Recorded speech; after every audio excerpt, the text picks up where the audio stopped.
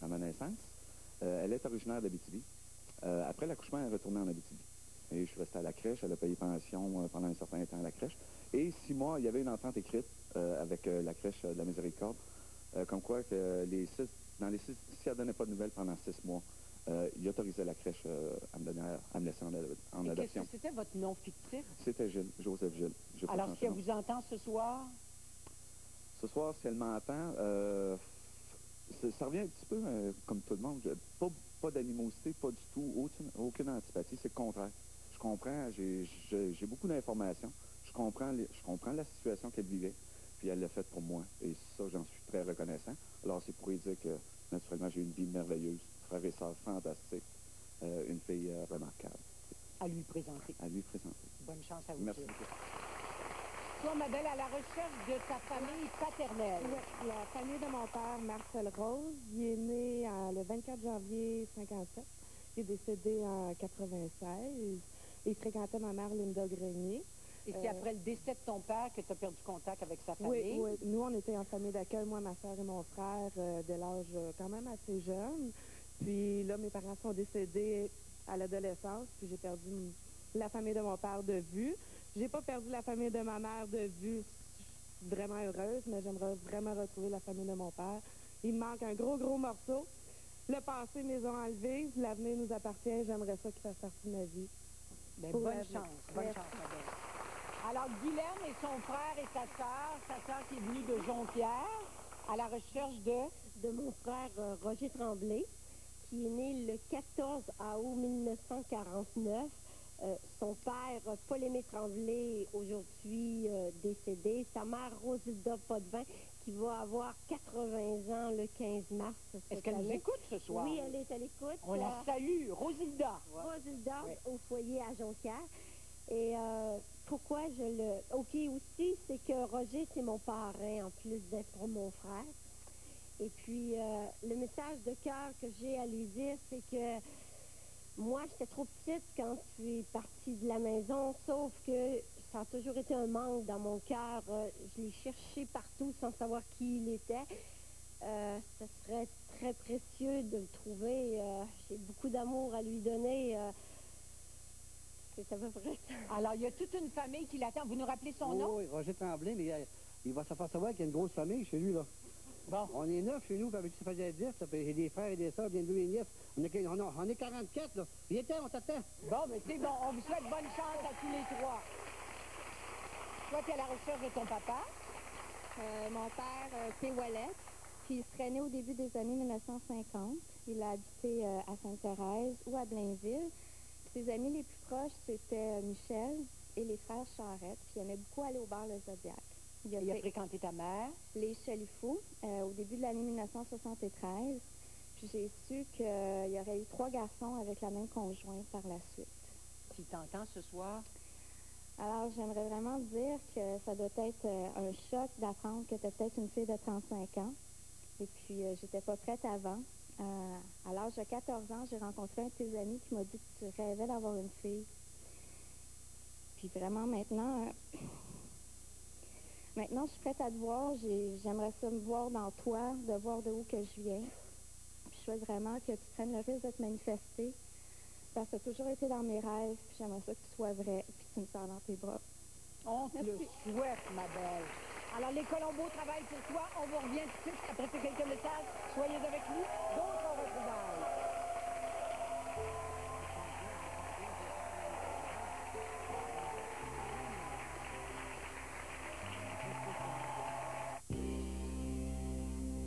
bonne nouvelle TVA.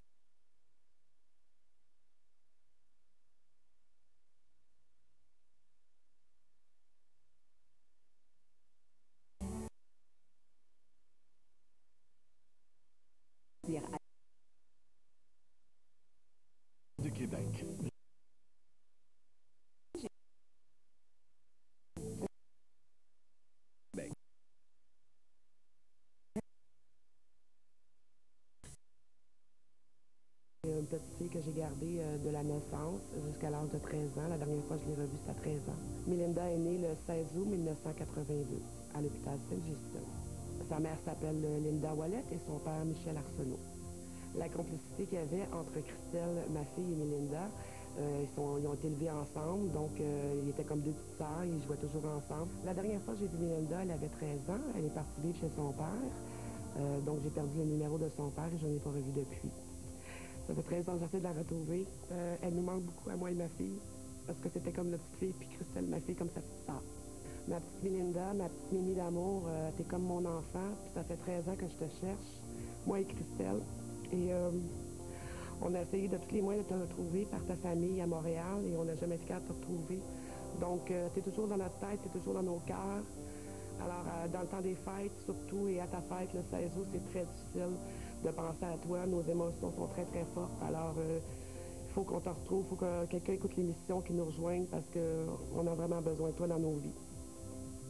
Je m'appelle Julie Lebrun. Moi, c'est Diane Lebrun et nous sommes à la recherche de notre grand géant protecteur, Denis Morel. Denis aurait approximativement 45 ans. C'était un ami qu'on a rencontré euh, par l'entremise du programme Katimavik. Euh, Denis est en stage chez un de nos voisins. Euh, éventuellement, il est reparti euh, chez lui quand il a fini son stage avec Katimavik. Il avait tellement aimé notre coin qu'il était revenu. Et euh, à ce moment-là, ma mère l'avait euh, invité à venir héberger à la maison. Puis il s'était trouvé un travail dans le coin. Puis il est resté chez nous quand même un bon bout de temps. On était trois filles seules à la maison, ma mère puis deux adolescentes, genre. Donc, puis on vivait en milieu rural, donc c'était pas trop évident. Donc, il, il était là, puis il faisait des activités avec nous. On avait besoin de parler, il était là, puis il nous a fait faire des mauvais coups, puis c'était pas mal de fun. Quand il est parti, ça a été comme un gros morceau qu'on a perdu dans notre famille. Il n'a jamais sorti de notre, notre cœur. On a toujours pensé à lui, mais euh, on- malheureusement, on n'a pas eu d'autres contacts. Euh, Denis, euh, tu es rentré dans notre vie 24 ans passés, puis tu es venu nous apporter du bonheur. tu es devenu notre géant protecteur qu'on t'adorait. Euh, tu nous as inspirés, tu nous as appris à avoir du plaisir. Euh, on t'a jamais oublié, tu es parti, mais on t'a jamais, jamais oublié. Denis, c'est là, appelle, on t'attend.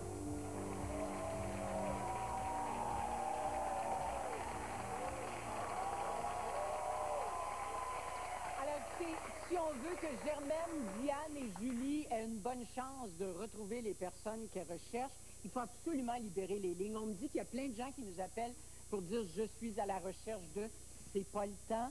Il va y avoir d'autres émissions, on en a une au mois de mars, alors vous aurez l'occasion de participer à ce moment-là. On ne peut absolument pas faire quoi que ce soit pour vous ce soir. Il faut laisser les lignes libres pour les gens qui veulent donner des informations qui veulent dire, ou qui veulent dire, oui, je m'en viens dans votre studio, je vais être là pour retrouver les filles. Alors, puis si vous avez de la difficulté à nous joindre par téléphone, faites-nous parvenir un courriel. Il y a toute une équipe qui travaille sur les informations qui entrent. Marie-Claude, à la recherche de ton père. De mon père biologique, Jean-Claude Nadeau. Il est né le 18 mai euh, 1943. Ses parents s'appelaient Hector Nadeau et puis Léona Gay. Et il a été marié à ma mère, Monique Arbic. Puis par la suite, il a habité plus de 27 ans avec une dame qui s'appelait Yvonne. Malheureusement, je crois qu'elle est décédée, cette dame-là. Elle avait à elle quatre enfants qu'il a élevés avec elle. Mhm. Et tu me disais tout à l'heure, euh, mon père a déjà tenté des rapprochements, mais j'étais pas prête à ce moment-là, puis tu as un peu de regret de ça. Euh, oui, un peu beaucoup. Euh, ma, ma situation ne prêtait pas à ça. Un, ça m'a inquiété ou j'avais un peu peur. Mes parents n'étaient pas du tout d'accord avec ça.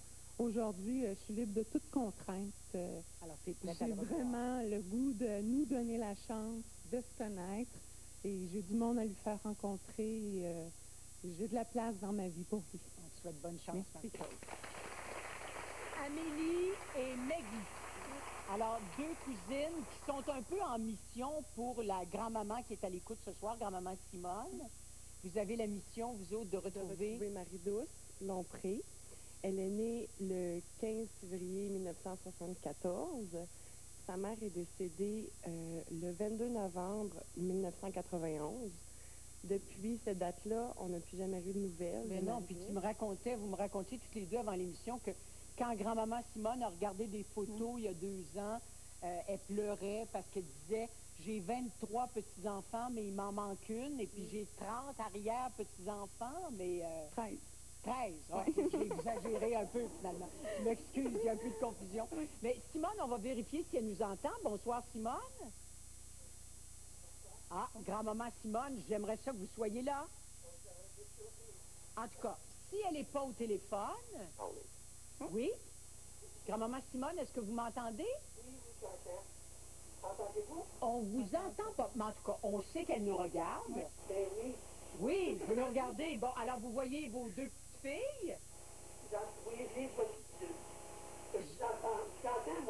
Vous nous entendez bien. Bon, ben alors, Simone, j'espère que vous êtes bien assise parce qu'on a une belle surprise pour vous. Votre petite fille, Marie-Douce, elle est ici. Alors, vous allez...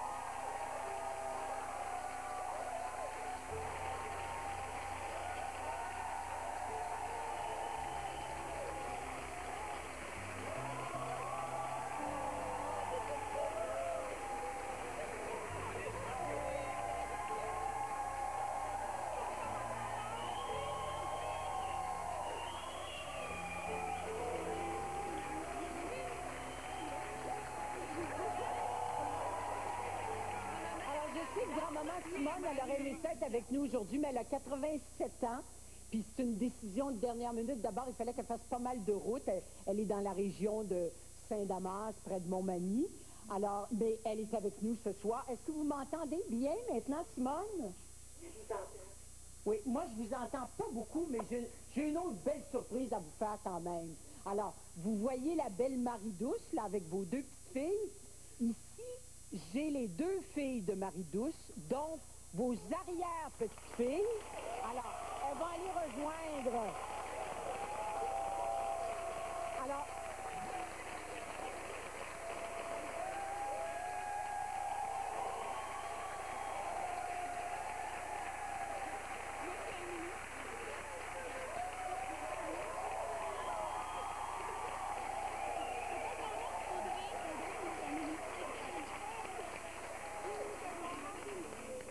Alors, il y a la belle Audrey là-dedans, puis il y a la belle Jannick aussi. Jannick est la plus jeune, puis Audrey, c'est la plus vieille. Ça fait, vous faites une image formidable et sûr que le cœur de grand-maman Simone là, doit débattre fort, fort, fort. Merci d'être là, les filles. Merci. Vous, vous êtes à la recherche de... De mon frère, Normand Lacroix. Ça fait aussi 23 ans qu'on l'a pas vu. Et mon dernier frère il est décédé au mois de novembre. Puis lui, c'est c'est le seul qui me reste. J'aimerais bien ça qu'il nous fasse signe. Et tu sais comment c'est important pour ton père, parce que c'est toi qui Ouais. nous as écrit. Tu Ouais. en as parlé souvent. Oui, c'est ça. C'est quelque chose qui manque dans sa vie. Puis, euh, puis ses parents, et puis ses frères. euh, Juste son petit frère. euh, je sais pas, il est où? Ça fait 23 ans qu'on l'a pas vu. Fait que, Elle parle de petit frère, il est plus jeune que vous? Oui, il a 57 ans. Alors, il y a un grand frère protecteur qui l'attend. On vous souhaite bonne chance à tous les deux. Véronique, qui est à la recherche de... Ma demi-sœur, Caroline Desrochers. Euh, sa mère, c'est Nicole Desrochers. Euh, je suis ici, je représente mon père aussi qui peut pas être présent ce soir. Oui, Pierre était supposé être ici, mais finalement, il est retenu en Abitibi. Exactement, oui. Euh, puis c'est ça, ben, j'aimerais ça la rencontrer. Pourquoi c'est important pour toi et pour ton père? La santé de mon père, bon, il vieillit vite, puis le temps passe trop vite, puis on aimerait ça euh, l'avoir avant que- qu'il soit trop tard. Puis moi, je suis ici à Montréal, je suis toute seule, euh, j'ai pas de famille, puis euh, si ma soeur, on le sait qu'elle est à Montréal, elle pourrait être proche de moi, ben, ça serait, ouais, Tu nous redis son nom? Caroline Desrochers. On te souhaite bonne chance, ma belle. Papier jaune, hey, ça, ça fait toujours plaisir. Ou, ou- ou Pierre, Pierre, Pierre, viens ici, mon cher Pierre. Oui, ton prof de piano, là? Oui, oui, oui. Et est ici pour toi. Oui, il est là, là. Il va entrer, là. Il va entrer, là. Il s'en vient, là. Vas-y.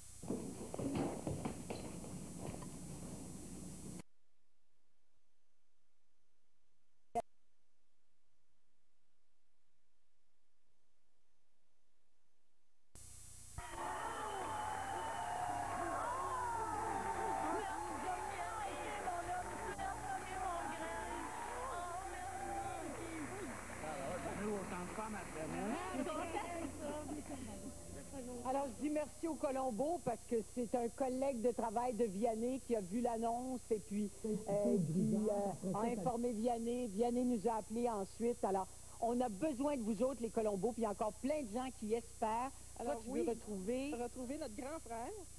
Euh, son nom fictif à la naissance était Réal Bourdois. Il est né à Montréal, à l'hôpital Miséricorde. Ensuite, il a été transféré à la crèche Diouville de Montréal encore. Euh, il a... euh, ma mère allait le voir régulièrement à la crèche, payait la, la somme pension. requise à tous les semaines. Avec l'espoir de le reprendre. Voilà. Et après quelques mois, les sœurs ont téléphoné à ma mère lui disant qu'il était décédé. Soudainement, comme ça. Ta Alors, l'a on a, non, on n'a jamais cru à cette histoire, donc c'est clair qu'il vit quelque part. C'est la raison pour laquelle c'est très important pour nous de le retrouver. Oui, et ta maman nous écoute ce soir Oui. et elle est aussi remplie d'espoir. Absolument. Cherches une demi-sœur. Oui, on cherche aussi une demi-sœur du nom de Fabienne Larocque. Sa mère est Denise Larocque et son père était Réal Rochelot, qui était notre père. Voilà, elle était née, euh, elle est née, on pense, entre 1958 et 1961 ou autour de ces dates-là. Alors, tu représentes bien la famille. On te souhaite bonne chance dans tes deux recherches. Merci beaucoup. Oui, toi qui es à la recherche de... Ma mère biologique. Je suis né le 17 avril 1981. J'étais adopté à cette île sous le nom de Dominique Lafrenière. Je sais que ma mère avait 24 ans euh, à l'époque. Elle a une scolarité de cégep. Ses parents, elle, avaient 50 ans. Elle avait un frère et une sœur mariés. Mon père, lui, était plombier puis était d'origine montagnaise. Pourquoi c'est important maintenant pour toi de, de les retrouver? Parce que tu cherches ton père aussi. euh. Oui, j'aimerais ça savoir mes origines. Je voudrais lui dire aussi que le plus, beau, le plus beau cadeau que j'ai eu de ma vie, euh, c'est vraiment l'adoption euh, des parents qu'elle m'a donné. Puis je voulais dire, lui dire aussi que je n'en veux vraiment pas, puis- mais que j'ai besoin d'elle, par exemple. OK, mon te souhaite bonne chance. Mais il semble que c'est irrésistible, un appel comme ça. Oui, bonjour, tu es à la recherche de... de ma mère biologique. Je suis née le 23 novembre 1976 à l'hôpital Sacré-Cœur à Montréal. Je sais que ma mère avait 17 ans lors de ma naissance. Elle était fille unique puis une de parents divorcés. Elle m'a gardé quelques semaines avec elle pour ensuite être adoptée par un couple merveilleux. Alors, toi aussi, tu as eu des bons parents d'adoption, Oui. mais tu aurais besoin de rencontrer ta mère. Si elle t'entend ce soir, qu'est-ce que tu as le goût de lui dire? J'ai deux grandes filles à lui présenter. Ah oui! Alors, hein, elle serait grand-maman. Levez-vous, les filles qu'on vous voit. Qu'est-ce que c'est ton nom? Alexandra Albert Alexandra? et Ariane Albert. Alors, tous ces gens-là vous espèrent. Bonne chance à vous trois. Un papier jaune. Germaine Lalonde. Germaine, je vais vous demander de venir ici avec Christelle, votre fille, parce que Christelle a bien connu aussi celle qu'on recherche, Mélinda. Vous le saviez, vous? Arrêtez donc, elle sentait. Elle est au bout du fil pour vous. Mimi, vous devrez... Eh, oh, oui, la vraie Mélinda. Mimi! Allô? Comment ça va? Comment ça va, toi, ma belle? Ça va bien? T'es-tu encore à Vancouver? Euh, non, je suis, euh, je suis rendue nouveau, au Nouveau-Brunswick. Je suis à Fredericton. Yes! Comment va, papa? Euh, papa va bien? Oui. Oui. Ça connaît ta voix, Mélinda. Euh, je, je suis mariée. Je le sais, t'as eu un bébé, mais je sais pas si c'est un gars ou une fille. Attends, Non, je fais un vœu. J'en ai trois. Elle est rendue à trois. Trois? Oh my God! Tu vas vite? Alors, Mélinda, on va vous demander de Oh, laisser vos coordonnées parce qu'ils vont se dépêcher de vous appeler. euh, vous faites deux filles très... Les, les voyez-vous, là? Pardon? Les voyez-vous à l'écran? Oui, je les vois là. Je t'aime! Alors, merci beaucoup de nous avoir téléphoné. Vous laissez vos coordonnées et vous la retrouvez. Ben oui, elle m'attend, elle m'attend. Alors, deux filles heureuses ici. Et quand je vois... Quand je vois la belle famille là-bas, Chantal avec euh, Francis. Ben oui, Christelle. Maman. Vous êtes grand-maman. Arrêtez donc. J'ai hâte de rencontrer ma garçon, d'une fille. Vous venez d'apprendre ça, là. Oui. Et là, là, là, là, là. Alors, ça veut dire que votre mère, dont on parlait tout à l'heure, là, j'ai dit qu'elle était à l'hôpital, elle vient d'apprendre qu'elle est arrière-grand-mère. Oui, oui. Formidable! Je suis sûre que ça va l'aider à guérir. ça. Alors, Francis, qu'est-ce que ça fait, Francis, de pouvoir à nouveau se coller sur sa maman? Un énorme soulagement. Merci Très beaucoup. content. Merci d'être là. Merci à vous. Je, je sais ce que ça représentait pour ta mère. On l'a vu tantôt trembler de toutes parts quand elle t'a serré dans ses bras. Et puis, euh, c'est- est-ce que c'est ma tante Gâteau qui est à côté, ma tante Gâteau? Puis mon oncle Paul? Mon oncle Mon oncle Tarte. Bon, ben, mon oncle Tarte, c'est bon. Alors, une famille heureuse grâce à vous, les Colombos. On espère réussir d'autres retrouvailles. On compte sur vous. Revenez-nous après ces quelques messages.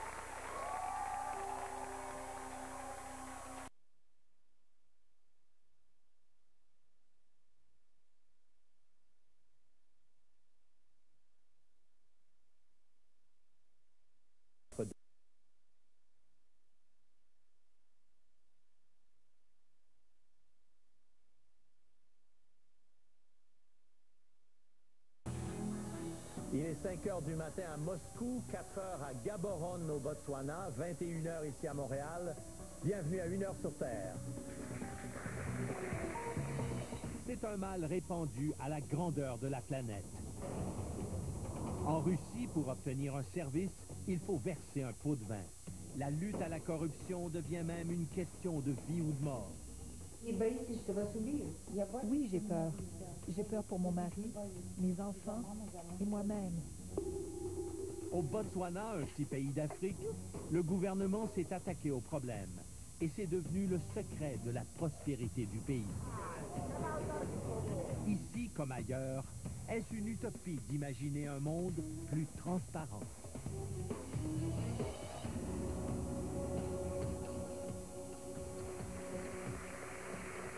Bonsoir. C'est un problème qui n'épargne aucun pays. Même ici, encore récemment, vous le savez, on a eu notre scandale des commandites. La corruption prive l'humanité de milliards de dollars qui pourraient servir au bien-être de la majorité plutôt que de profiter à une minorité. En Russie, la corruption a pris une telle ampleur qu'elle fait partie de l'économie du pays. Alexandra Chatska et Georges Amar ont rencontré des gens qui en sont victimes, mais qui, malgré les menaces de mort et d'emprisonnement,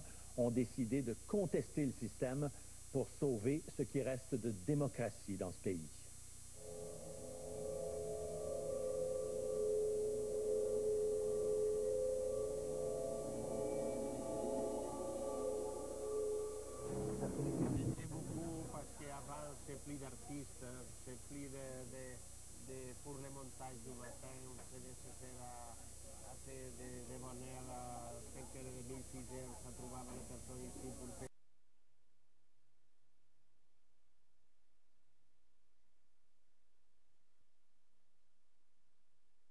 Avant-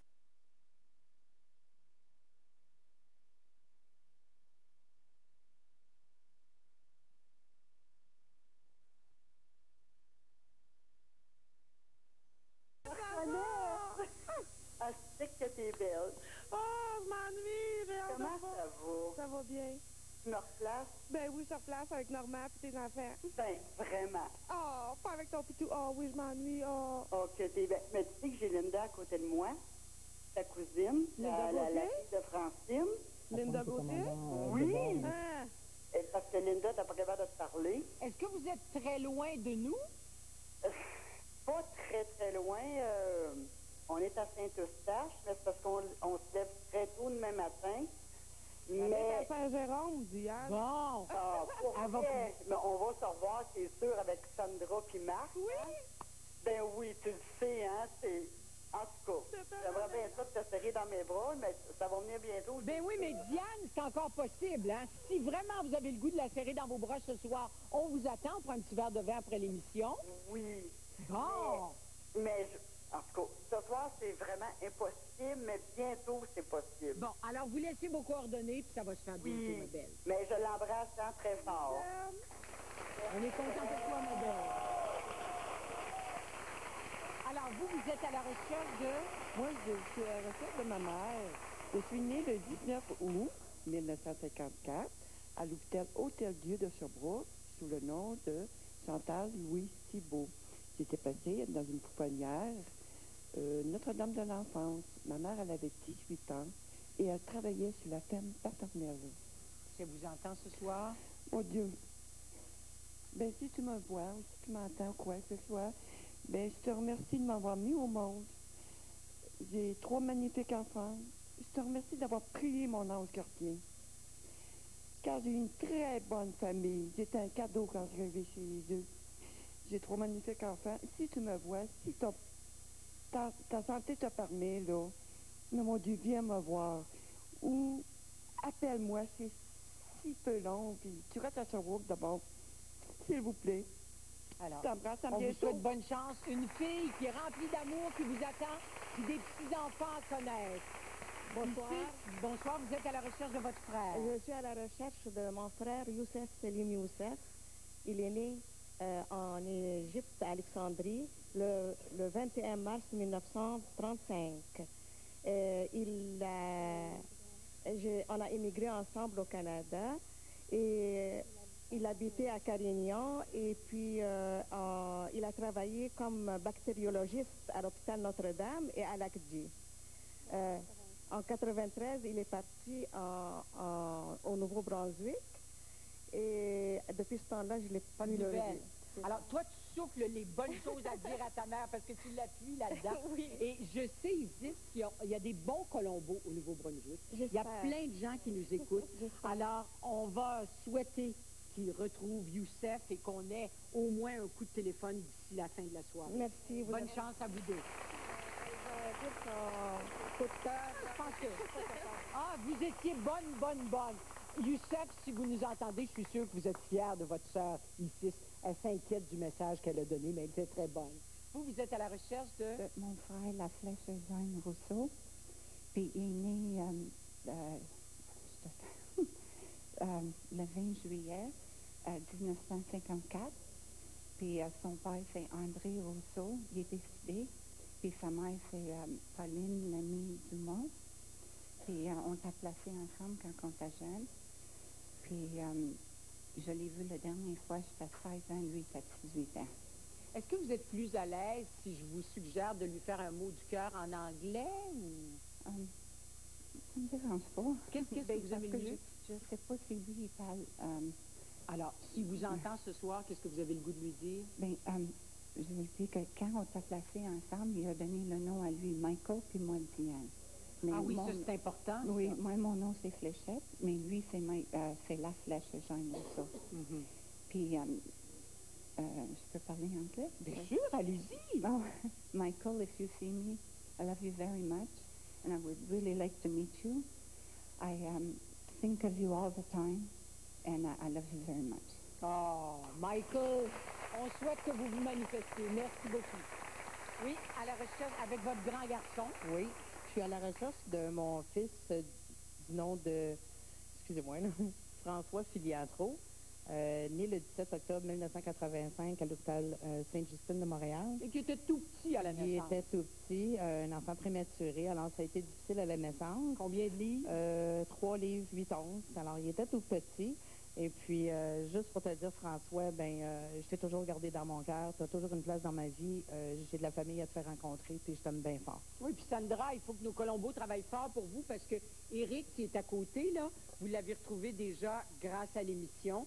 Alors, il y a une première étape de fête. Pour, pour toi, Eric, c'est important aussi. Tu aimerais ça, Oui, nous oui, ça. Oui. Oui. Alors, une première étape de fête. Et Colombo, on en fait une deuxième. Et puis, on va avoir ici deux personnes comblées. Bonne chance à vous deux. Toi, ma belle, tu es à la recherche de ton père. Oui. Mon père, Al Toussaint, moi je suis née le 7 novembre 1985 à Joliette. Puis euh, il a fréquenté ma mère, Michel Ferland, euh, dans l'année 85. Pourquoi c'est important de le retrouver maintenant? Ben parce que je veux savoir de où je viens, j'ai besoin, tu sais, j'ai une culture à connaître, des racines, puis j'ai besoin de, de savoir qui est mon père. Bon, ben, on a des gens de la communauté haïtienne qui devraient travailler pour nous ce soir. On te souhaite bonne chance. Stéphane, à la recherche. De Dave Ryan. Oui, et toi, à la suite de la dernière émission, tu as retrouvé ton papa? Ouais, j'ai retrouvé mon père et mes deux demi-frères aussi. Oui, et puis tu as appris que tu avais un troisième fr- demi-frère. Un troisième demi-frère. Puis là, tu t'es dit, écoute, il faut travailler encore plus fort, puis il faut réussir à le retrouver. Ouais, j'aimerais bien ça. Alors, Dave, là, Oui. il est au bout du fil pour toi. Salut Dave. Salut. Ça va bien? Ça va bien, toi? Ben, très bien. Excellent. T'es dans quel coin? Moi, j'étais à Repentigny pour l'instant. Euh, j'étais supposé m'en aller ailleurs pour asseoir, mais j'ai attendu de passer juste pour toi, pour être là, pour, euh, pour que tu entendes ma voix, pour que tu saches que j'existe. OK. Pense qu'il y aurait peut-être possibilité de se rencontrer? Ben ouais, c'est sûr, quand tu veux, peut-être pas à soir, là, comme, j'avais, dit au monde, mais quand tu veux, là, c'est sûr, là, je peux te donner mon numéro de téléphone, tu m'appelles, puis on fait de quoi, c'est sûr. Ah, ben Dave, t'as pas le goût de prendre un petit verre de vin avec nous autres et avec ton frère? Ça serait tentant, mais écoute, je suis à pied, je suis à Repentigny, ça va un petit peu mal. euh, c'est sûr que je serais ici à soir, là.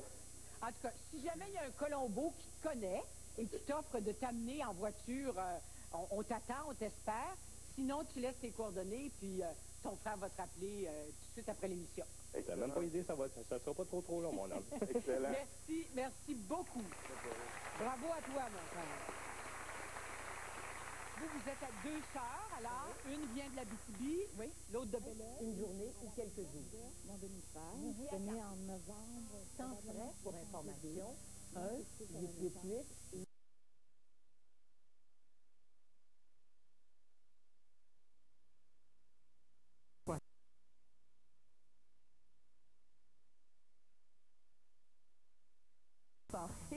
notre concours et vous pourriez assister au gala de Star Academy. Mon 7 jours en vente maintenant. Mon nom est Denise Patnaud et je suis Diane Patnaud. Nous sommes à la recherche de Paul Richard. J'ai connu Paul euh, lors d'un contrat de, musique à Acton Vale dans les années 59-60.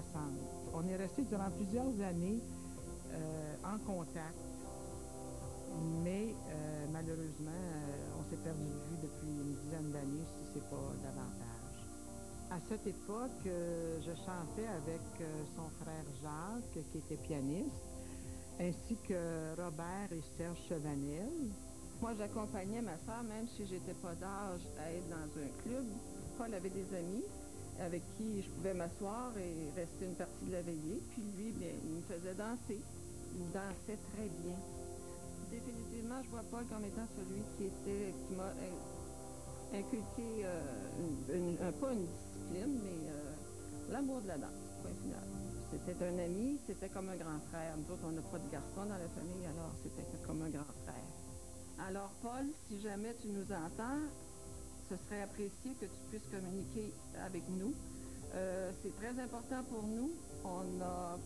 C'est certain que de ton côté comme du nôtre, on a perdu beaucoup d'êtres chers dernièrement. Alors, il faudrait peut-être profiter de la vie et essayer de se rejoindre, de renouer et puis euh, de se rencontrer si c'est possible. Alors, s'il te plaît, appelle-nous. Je, je m'appelle Carole Lortie. Je suis à la recherche de deux amis, la mère et la fille. Je suis à la recherche de Lucie Bélanger et Céline Bélanger. Elles demeuraient dans le, le quartier Saint-Michel, près de la 12e avenue.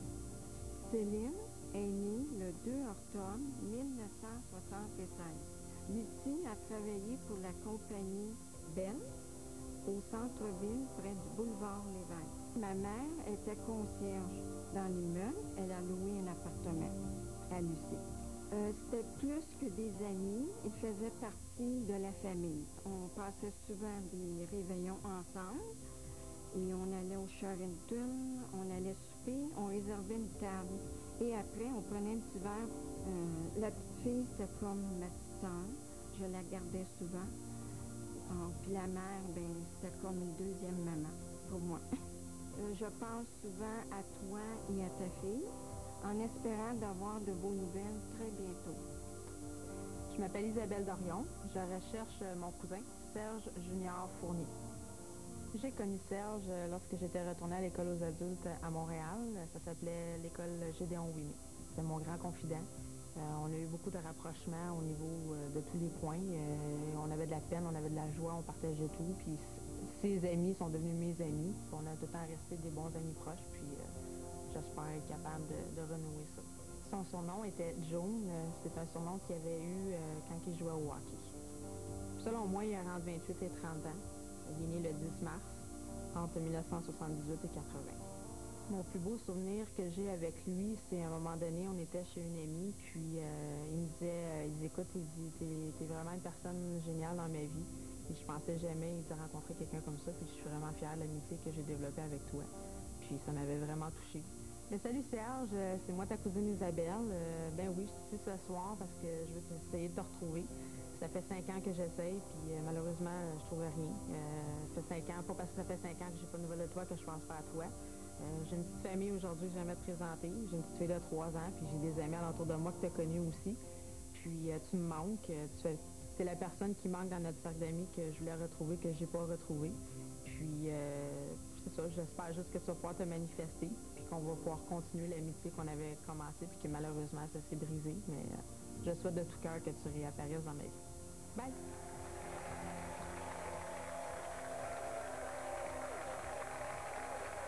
Alors, les Colombos, il y a Denise, Diane et Carole qui comptent sur vous. Mais pour ce qui est d'Isabelle, Isabelle disait, ça fait cinq ans que je te recherche, Serge. Isabelle, tu as pris les bons moyens ce soir, parce que hein, tu sais qu'il y a bien des gens qui nous écoutent et puis qui nous aident. Et puis ton cousin Serge, il est ici pour toi ce soir.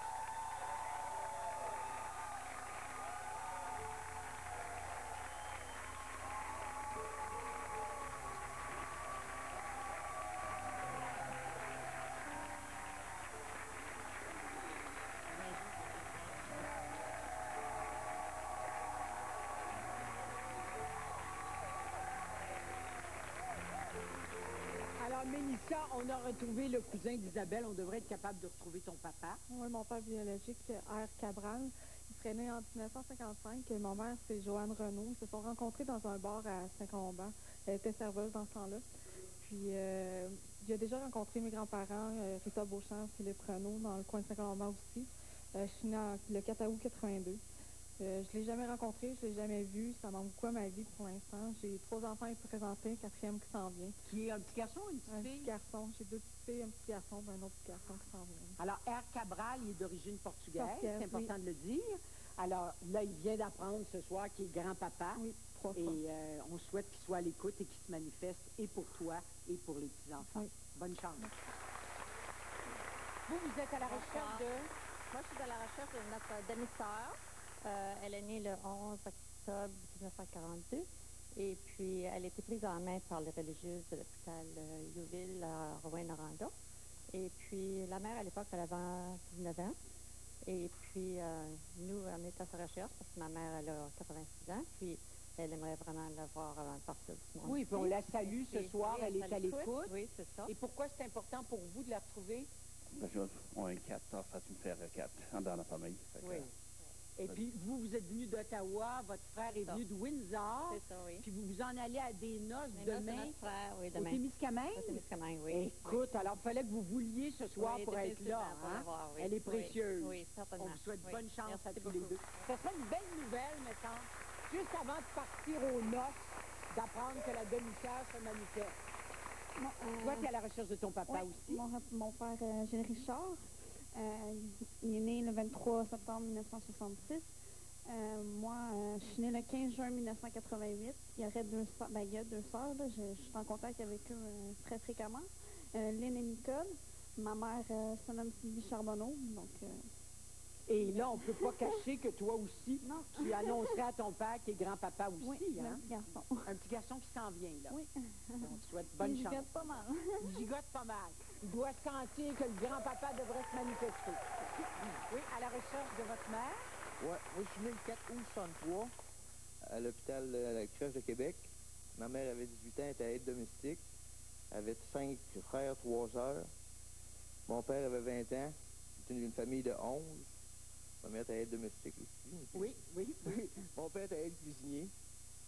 Ça, c'est ça. Je savoir. euh, Si elle vous entend ce soir, qu'est-ce que vous voulez lui dire? viens me voir. Ça presse. Oui. Alors, sous. Bonne chance à vous. Oui? Vous Bonsoir. cherchez? Euh, mon frère, il est né en 71 ou 72. Euh, on avait comme mère euh, Pierrette Géhu, qui était euh, originaire de la Gaspésie. Euh, c'est euh, Le nom fictif de votre frère? euh, Stéphane, mais je sais pas son autre nom. Euh, moi, c'est Sylvain Brière à la naissance. Et euh, c'est à peu près ça. Pourquoi vouloir le retrouver maintenant? ben, je viens d'apprendre que j'ai un frère parce que j'ai trouvé un petit peu une partie de ma famille. Et euh, j'ai appris que j'avais un frère et depuis ce temps-là, euh, je veux vraiment le trouver pour lui présenter ma petite famille à moi, puis euh, peut-être euh, essayer de se connaître comme il faut. Bien, on vous souhaite ça, parce que c'est précieux, la famille. Toi aussi, ma belle, on peut pas cacher que tu vas avoir un bébé bientôt. C'est pour quand? Pour avril. C'est un petit garçon ou une petite fille? Un petit garçon. Alors, tu l'annonces au papa que tu recherches ce soir. Oui, j'ai déjà une petite fille d'un an. Euh, je recherche mon père, il s'appelait M. Paquette. Il habitait à Tétroville avec ma mère sur la rue Sherbrooke euh, dans les années 80, euh, 88 environ. Est-ce que tu l'as connu, toi? non, je ne l'ai pas connu. Ma mère s'appelle Marie-Claude Florent. Quand il l'a rencontrée, elle était blonde, aux yeux verts. Puis, euh, S'il t'entend ce soir, qu'est-ce que tu as le goût de lui dire? je lui en veux pas, il est parti, il est parti, mais s'il veut euh, apprendre à connaître sa famille, ben de mon côté à moi, s'il y a une place dans sa vie pour nous autres, ben je vais y en faire une dans la mienne. On te souhaite bonne chance, ma belle.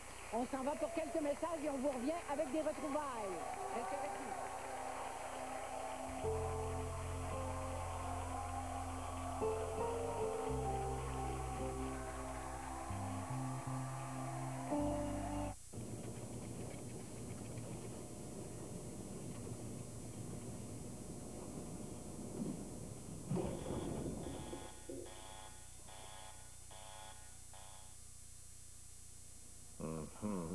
Les shreddies sont habituellement faits carrés. Euh, Si c'était maintenant un couple ordinaire, une famille ordinaire? Mais c'est pas un couple maintenant, c'est une famille, puisqu'ils ont opté pour garder le bébé, ça devient une famille. Et un papa et une maman doivent être présents pour un bébé. La famille de madame et monsieur ont pris la décision, entre les typiques, ils ont pris la décision de garder les enfants. Ben, qui dit garder enfants, dit garder parents. Et c'est ça qu'il faut qu'ils réalisent, les jeunes, c'est qu'ils sont devenus des parents. C'est pas un petit couple qui fait garder chez maman. Donc, vous êtes maman, vous voulez garder les deux dans la chambre? Mais les deux dans la chambre avec le bébé. Avec le bébé. Avec le bébé, parce que ce sont des parents. Ah, il y a quelle sorte de collaborateur j'ai? Je me dire. Denis. mon- Montrez-moi donc la photo, là. Je veux voir la photo. Doc Laberge, regardez la photo. Ah non, regarde, Hey, hey, hey, hey. C'est pas, c'est pas, devenu des fa- une famille puis un couple. Le petit gars, il a l'air d'avoir 8 ans et demi. Là. Puis à part de ça, Mario, il dit Ah, mais il y a des pulsions comme tout le monde. Et lui, il dit Je l'ai fait juste une fois. Puis regardez la binette. Là. Il doit pas avoir les hormones dans le On plafond. mais il fait pas ça là. ça fasse, comme disait mon père. Non, non, mais il fait ça avec ses hormones. Ben, avec ses hormones, puis Il n'y a avec pas mieux l'équipement qu'il encore. a. Il n'y a pas mieux encore, puis il il joue au PlayStation. Moi, Denis, je suis d'accord avec Doc Laberge, fait que Denis, c'est vous qui êtes dans le champ.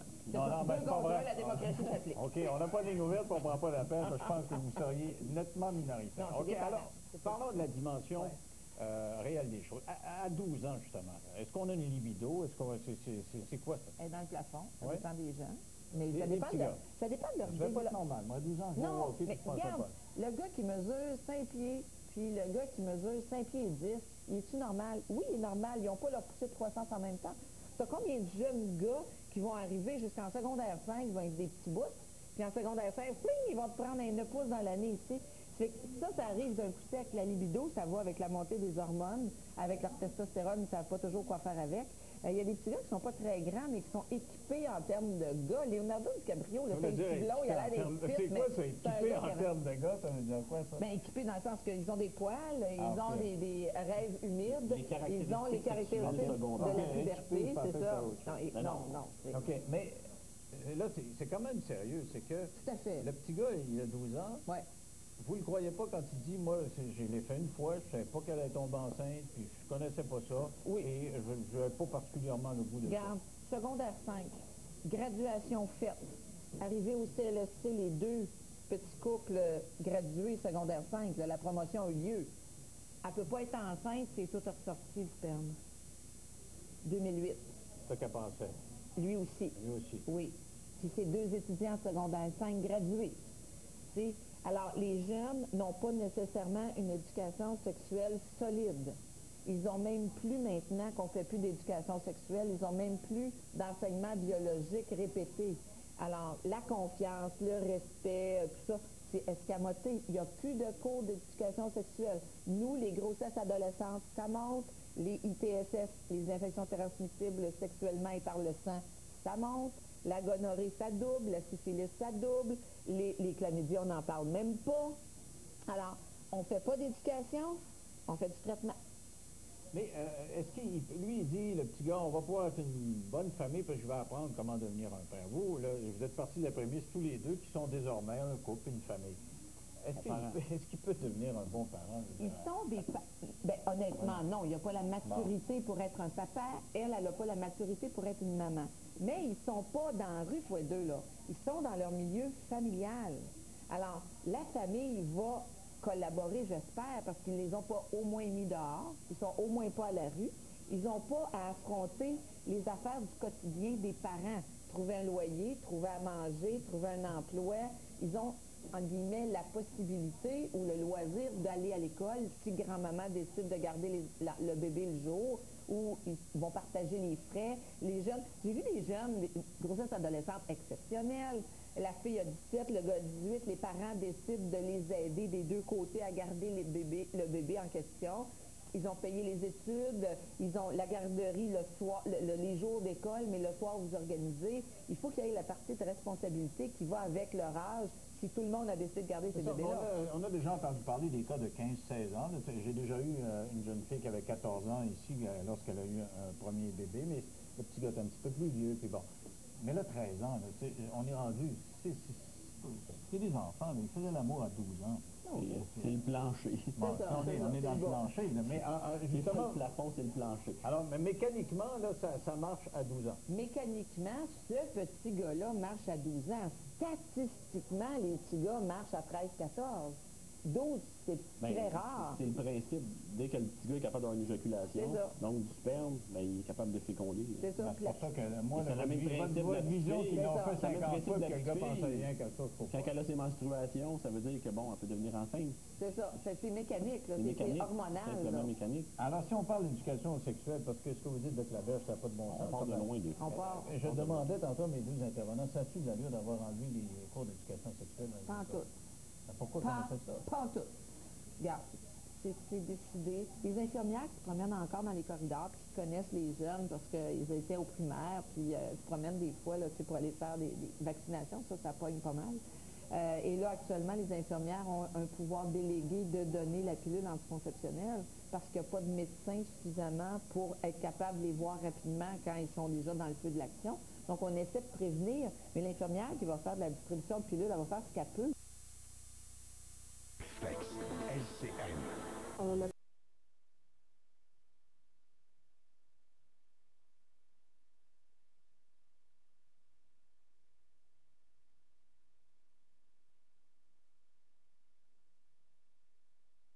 de Stéphanie et Stéphane. Et je suis curieuse, Georges, de savoir comment vous avez appris que vous étiez recherché. Est-ce que vous étiez à l'écoute? En tout. Non. Ça va faire deux billes. Ça va en souper. Ça va prendre deux billes sur mon. Moi, je m'en vais, je m'en vais à la maison. Le téléphone sonne. L'adversaire m'appelle, elle dit J'ai reçu un coup de téléphone. Ben, de qui? Elle dit C'est quelque chose, tu vois. Tiens, tu- tiens, toi, bête là-dessus. Elle dit euh, Tes deux enfants, ils ont passé à tes yeux. Ça, c'est pas faux. Toi, là, tu me fais part. Non, non, elle dit Ton neveu, il, il- il- il nous a appelés. Comme quoi que ta fille et ton gars, ils ont passé entre là la marche. Ben, je vais voir ça, voir si c'est vrai. Là, ma soeur, elle, elle secrétaire pour un avocat. Elle a euh, le, le show de, à l'Internet. Elle l'a vu sur Net- sur l'Internet. Elle me rappelle. Elle n'a juste pas demandé, c'est ça. Et Le- depuis combien de temps vous, a- vous aviez vu vos enfants? Ah, Ça fait 26 ans. 26 ans. J'ai fait 4 Georges, est-ce que vous vous rappelez de la dernière fois où vous les avez vus? ah, ma fille avait trois ans, mon gars, mon gars en avait deux sur ma main. C'est la dernière fois.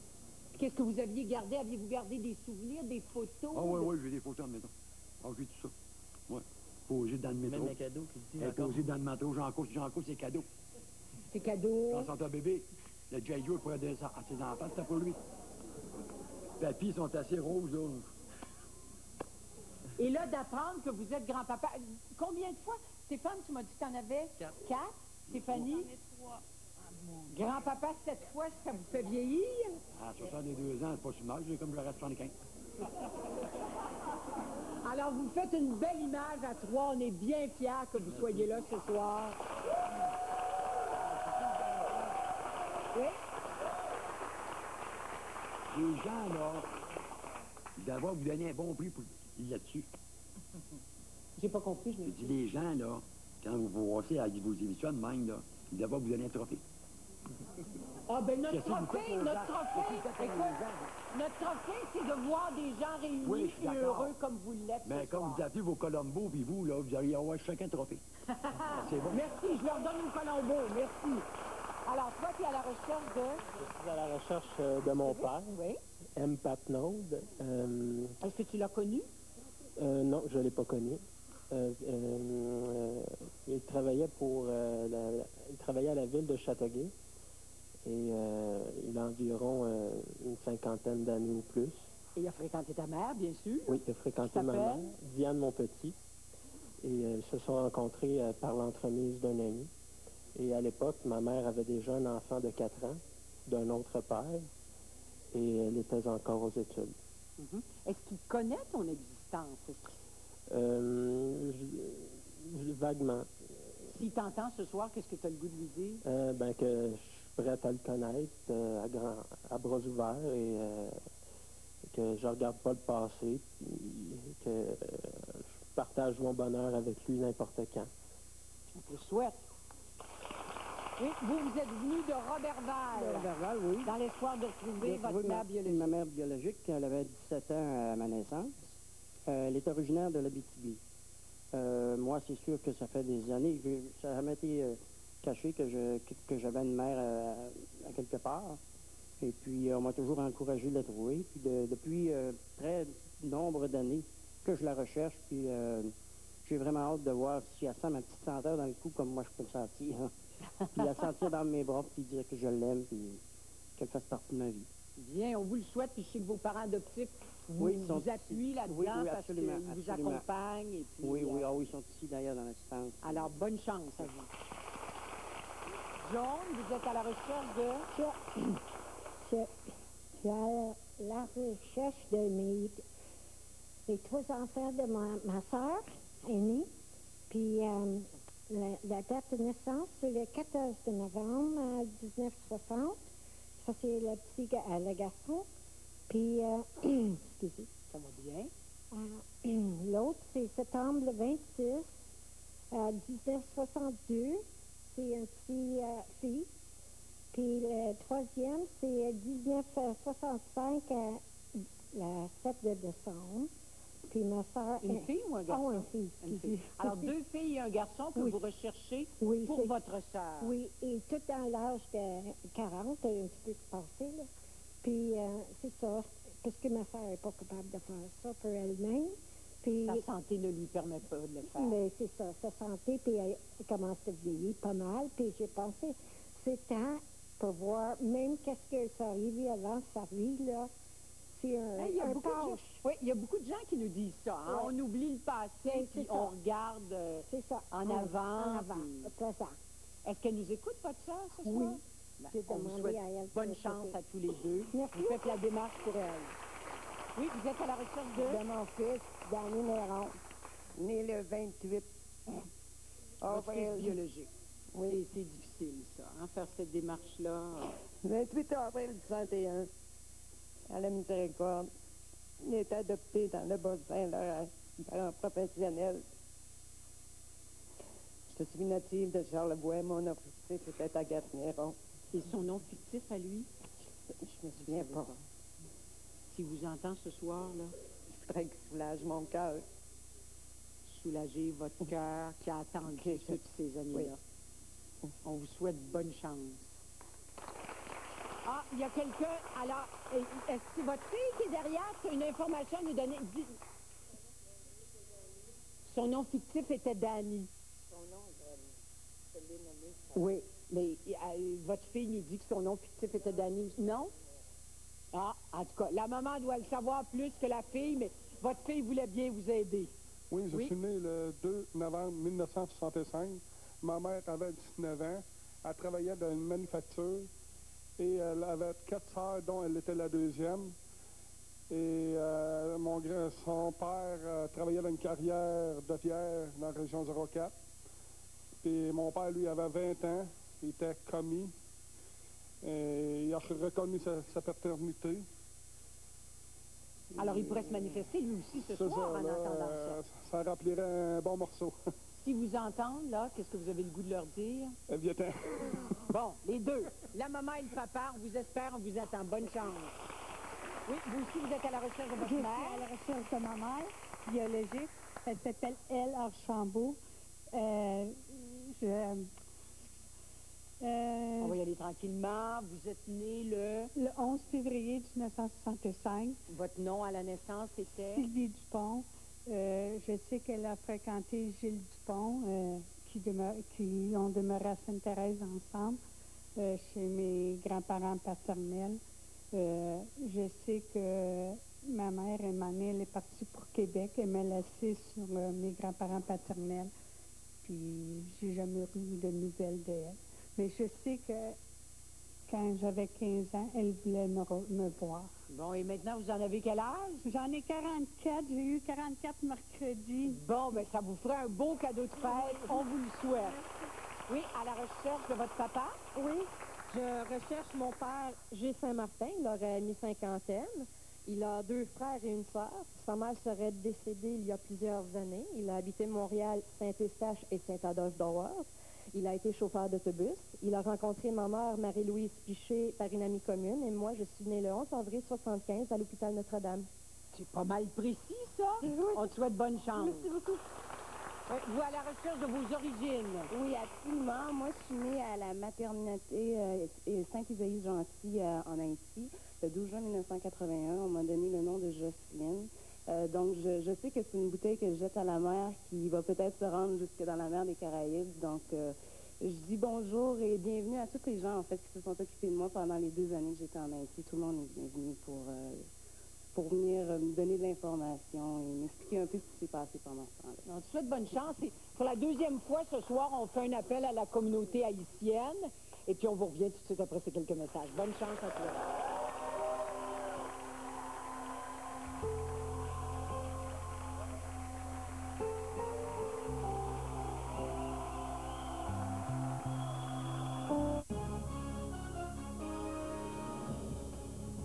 Bonsoir. Les enquêteurs pensent savoir ce qui a causé l'écrasement du vol 3407 près de Buffalo. On en parle avec un pilote de ligne. Et Nicolas Sarkozy baisse le ton à l'endroit des souverainistes, mais il ne s'excuse pas. Oui, allô? Oh, on les fait venir toi à la maison. Je vais vous faire quelque chose de santé. Vous allez être surprise comment ça va être bon. D'accord? OK. À tantôt. Oui. Le pain bon matin 14 céréales est source d'oméga 3, de fibres et de 11 éléments nutritifs essentiels. Allez sur notre site pensepin.com et essayez mes délicieuses recettes. Profitez de notre offre pour un grill et sandwich de Hamilton Beach. Alex, en 2009, un emploi en gestion de commerce et marketing, c'est encore possible et c'est payant. Tu peux pas t'imaginer la demande qu'il y a en région si tu retournes aux études. J'ai étudié au collège de l'Estrie de Drummondville, le seul centre reconnu en région. Fais le premier pas, appelle au collège de l'Estrie de Drummondville. Je m'appelle Judith, j'ai une prothèse dentaire, j'utilise Polygrippe, je suis professeur. Avant Polygrippe, je me sentais souvent mal à l'aise devant les étudiants parce que j'avais peur que ma prothèse se déplace. Oh, maintenant, avec Polygrippe, je me sens vraiment à l'aise. Avec Polygrippe, j'ai retrouvé toute ma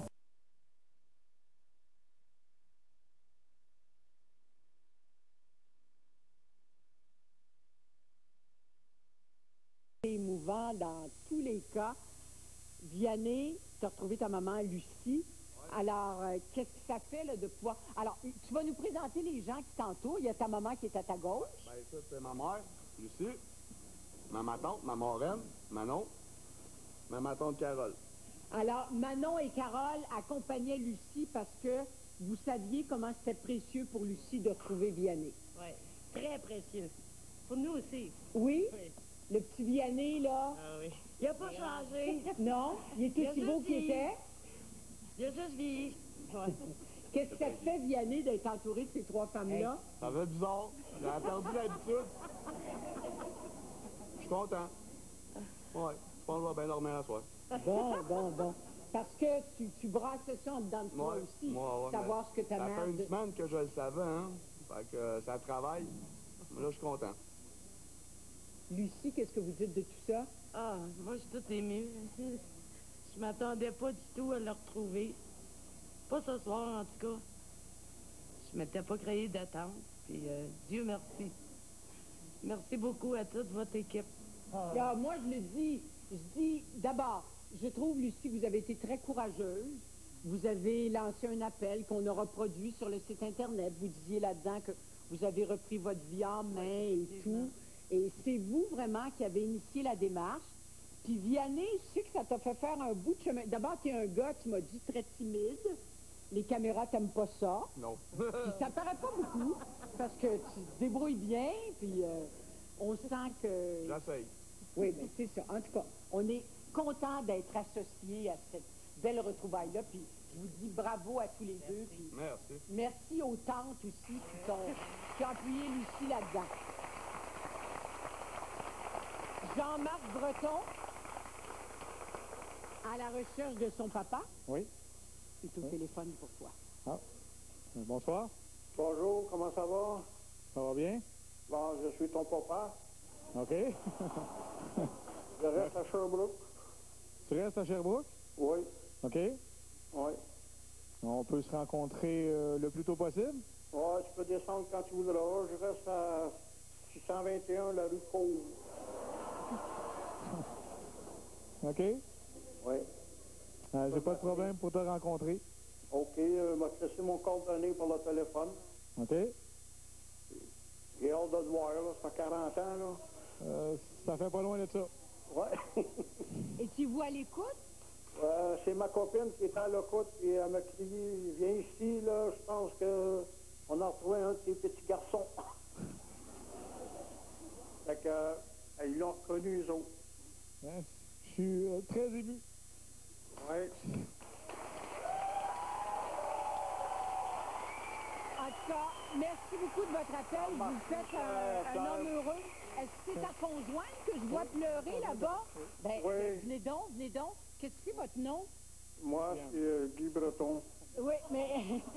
oui, mais regardez, je, je dis qu'est-ce que c'est votre nom? Parce qu'il y y, a la belle Diane qui est la conjointe de Jean-Marc.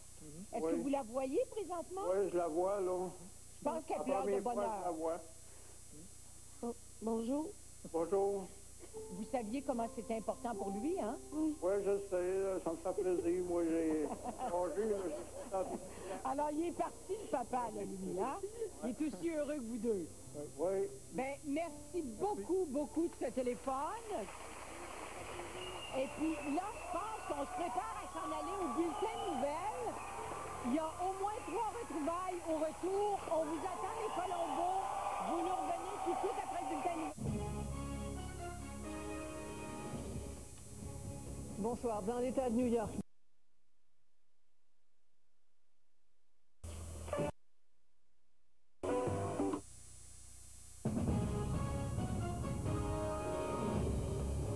Bonsoir, Mesdames, Messieurs. Il est 22 heures. Voici ce qui se passe maintenant. L'écrasement d'un Q-400 de bombardier près de Buffalo aurait été causé par le verglas. significant ice buildup. L'accident a fait 50 morts. La petite communauté de Clarence Center est en état de choc, nous dira notre envoyé spécial Yves Poirier. Que faire du papier recyclé qui s'accumule? On en brûle dans une cimenterie. On va en faire de l'énergie. Enfin, une bonne nouvelle économique. CAE décroche un important contrat de l'armée. On a sécurisé 150 emplois chez CAE pour plusieurs années. Et à la météo demain, on aura du soleil pour le sud-ouest, du vent et de la neige plus à l'est.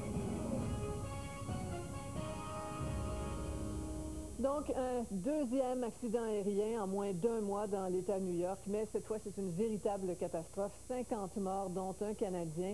Mathieu, les boîtes noires de l'avion ont commencé à parler. Exactement, et elle commence à révéler aux enquêteurs que c'est l'accumulation de glace sur l'appareil dû au verglas qui pourrait être une des causes possibles. Évidemment, l'enquête ne fait que débuter. L'enquête qui nous dira pourquoi cet appareil qui décollait de Newark au New Jersey ne s'est jamais rendu à Buffalo, dans l'État de New York. Ce sont les premières images captées peu de temps après l'écrasement du vol 3407 de la Continental Airlines. Plus tôt, l'équipage avait reçu l'autorisation pour atterrir à Buffalo. Rien ne laissait présager le drame. Quelques minutes plus tard, vers 22h15, plus rien. L'équipage du Dash 8 Q400 de Bombardier ne répond plus. L'avion a piqué du nez pour terminer sa course sur une maison à 8 km de la piste d'atterrissage en plein quartier résidentiel. Les 49 personnes qui prenaient place à bord de l'appareil sont mortes, dont un Canadien. Les familles sont inconsolables, dont celle de la copilote, âgée de 25 ans. Rebecca's the most amazing human being on the planet. She just is, she, she was light, she loved to fly. Parmi les victimes, il y a cette Américaine qui a perdu son conjoint lors des attentats du 11 septembre 2001. Un des trois occupants de la maison où l'avion s'est écrasé a aussi perdu la vie. Miraculeusement, sa femme et sa fille ont réussi à sortir de la maison. Le président a offert ses condoléances aux familles éprouvées. Les deux boîtes noires ont été retrouvées et les enquêteurs tentent maintenant de déterminer la cause de l'accident. Le verglas pourrait être responsable. The crew discussed significant ice buildup. Juste avant l'écrasement, l'équipage a mentionné l'accumulation de glace sur les ailes et le pare-brise, dit-il. Une analyse partielle d'une boîte noire indique que le mécanisme de dégivrage était activé, sans préciser s'il fonctionnait. Le pilote a sorti le train d'atterrissage une minute avant la fin de l'enregistrement des données de vol. 20 secondes plus tard, il a abaissé les volets des ailes pour freiner l'appareil. L'avion s'est mis à rouler et à tanguer sévèrement, selon le porte-parole des enquêteurs. Le pilote a tenté de remonter le train d'atterrissage et les volets. Trop tard pour empêcher l'écrasement. Mathieu Bellumeur pour le réseau TVA. Alors avec nous, euh, Daniel Adams, euh, pilote, analyste en sécurité aérienne et gestionnaire des opérations euh, chez Skyjetter. Monsieur Adams, l'hypothèse numéro un, là, à l'heure où on se parle, c'est l'accumulation de glace sur l'appareil. À la lumière des informations que l'on a obtenues aujourd'hui, tout au long de la journée, je pense qu'il est, euh, il est, pas, euh, il est possible de croire effectivement que euh, l'accumulation de glace et euh, de givre sur l'appareil euh, a causé les- les, euh, l'incident de- d'hier. Bon, la question qu'on se pose, c'est que ce genre d'appareil n'est pas équipé pour justement affronter ce genre de conditions météo? Tout à fait, les appareils sont équipés pour affronter ce type de, de conditions particulières météo. Cependant, euh, ce qui influence, si vous voulez, l'action ou la réaction des membres d'équipage dans de telles situations, c'est le taux de prise du givre et de la glace sur l'appareil. Alors, si on se trouve à des altitudes euh, où il y a beaucoup de givre euh, qui s'accumulent rapidement sur l'appareil, les équipements, si vous voulez, de dégivrage ou d'anti-givrage ne suffisent plus à, à répondre à la demande, si vous voulez. Alors, on enlève le plus gros, mais à un moment donné, si on se retrouve continuellement dans des altitudes où on, euh, on est, euh, euh, on fait face, si vous voulez, à des conditions de givre ou, ou d'accumulation de glace, alors c'est très difficile à ce moment-là de s'en sortir. Il faut réagir rapidement. Ouais. Est-ce que c'est une catastrophe qu'on aurait pu éviter, malgré tout? Difficile à dire, Madame, Madame Thibault. Les catastrophes aériennes qui impliquent, je dis bien, qui impliquent des, euh, des erreurs de, pilotage, euh, non pas aujourd'hui qu'on parle d'erreurs de pilotage, mais euh, supposons qu'on parle d'erreurs de pilotage ou erreurs de jugement, par exemple, des membres d'équipage par rapport à la glace accumulée sur l'appareil. Est-ce que ça pourrait être évité? Les erreurs humaines peuvent toujours être évitées. Vous pouvez être certaine que le constructeur bombardier va, est déjà sur place et euh, prend note de ce qui s'est passé. On, on aura l'occasion d'en savoir plus avec Ouais. l'écoute des, des, euh, des boîtes noires. Et bon, on va essayer d'en tirer des leçons, évidemment. ah, tout à fait. Chaque incident dans l'aviation permet à d'autres euh, transporteurs et d'autres exploitants d'avancer également. Voilà. Merci beaucoup, M. Adams. C'est un plaisir, merci.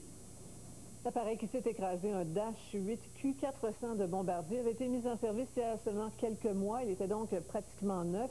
Bombardier euh, collabore entièrement à l'enquête et refuse de spéculer sur les causes possibles de l'accident. Mais c'est un autre coup dur pour l'avionneur. Alain Laforêt. Le Q400 de la compagnie Colgan Airline volait depuis le 28 avril dernier. Il ne comptait que 1500 heures de vol. Tout de suite, on a dépêché une équipe technique spécialisée justement en enquête d'accidents d'avion et spécialisée sur l'appareil Q400, sur le produit comme tel. Dispose d'une flotte de 14 appareils. Le 15 janvier dernier, la compagnie a commandé 15 nouveaux Q400 à Bombardier et envisageait en acheter 15 autres. Ce n'est pas la première fois que le Q400 fait la manchette. En septembre 2007, trois appareils avaient effectué des atterrissages d'urgence à la suite de problèmes avec leur train d'atterrissage fabriqué par Goodrich aux États-Unis. Problèmes qui ont été identifiés, résolus et euh, depuis, ça fait partie du passé. Les premiers Q400 sont sortis de l'usine d'assemblage de Toronto en février 2000.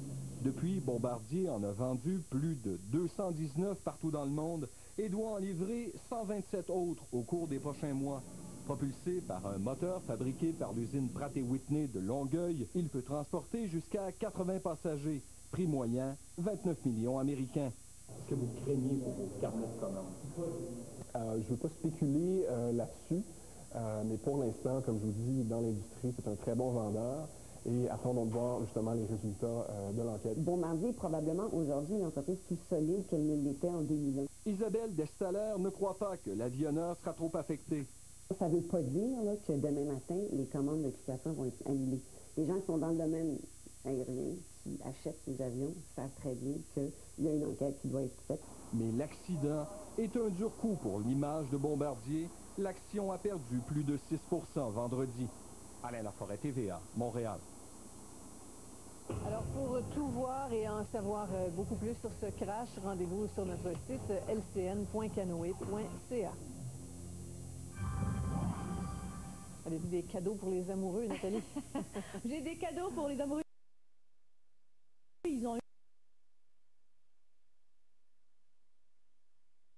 a de la neige intermittente, mais avec le vent, de très très fort vent, entre 60 et 90 km à l'heure. Les îles de la... Il va mettre du temps à s'en remettre. Oui, je vous dirais, Sophie, que les 24 dernières heures ont été particulièrement pénibles pour cette communauté. Et ça a été aujourd'hui véritablement une journée de deuil pour euh, ces gens de Clarence Center. Euh, c'est une banlieue de Buffalo, une petite communauté de 25 000 habitants. C'est une communauté qui est tissée, serrée. J'ai vu ça aujourd'hui. J'ai rencontré plusieurs citoyens. Euh, je me trouve, moi, à peu près à un kilomètre de la scène.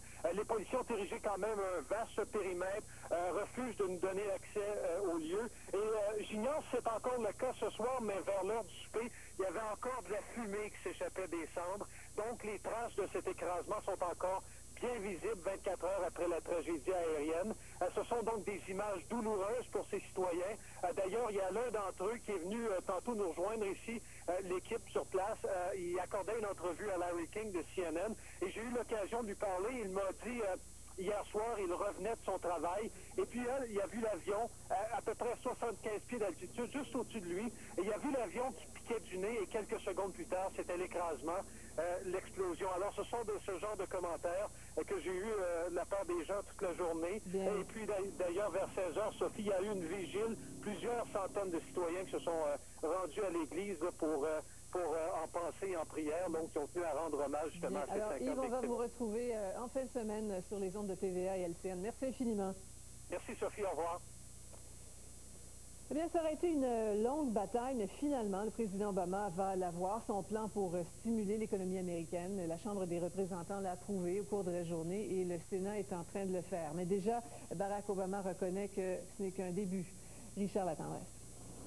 Longue journée de délibération et de débat au Congrès américain où le fameux plan de 785 milliards de dollars pour stimuler l'économie du pays a été commenté sous tous ses angles. This is a sad day for our country. It's a sad day for the American taxpayer. This is our opportunity. Let's get this passed today. Les élus ont dénoncé la complexité du document. No, we don't have time to do that. Malgré tout, la Chambre a donné son appui au texte final du plan de relance réclamé par le président. On this vote, the yeas are 246, the nays are 183. C'est en fin de journée que les sénateurs ont entamé leur propre débat sur ce plan avec toujours autant d'intensité. Mr. President, this is an 800-page bill. It ain't perfect. Is not bipartisan. It contains much that is not stimulative and is nothing short, nothing short of generational theft. S'adressant plutôt en matinée à des gens d'affaires à la Maison-Blanche, le président, loin de se montrer triomphant, a plutôt insisté sur les défis à venir. Now, passing this plan is a critical step, but as important as it is, uh, it's only the beginning of what I think all of you understand is going to be a long and difficult process of turning our economy around. Le président s'est envolé en après-midi pour un week-end en famille à Chicago, mais impossible pour lui de se changer totalement les idées, alors qu'aussi immense puisse être le plan de relance adopté, presque tout le monde s'entend pour dire que dans l'état actuel de l'économie, c'est d'abord et avant tout une très grosse gageure qui pourrait bien ne pas donner les résultats escomptés. Richard Latendresse, TVA, Washington.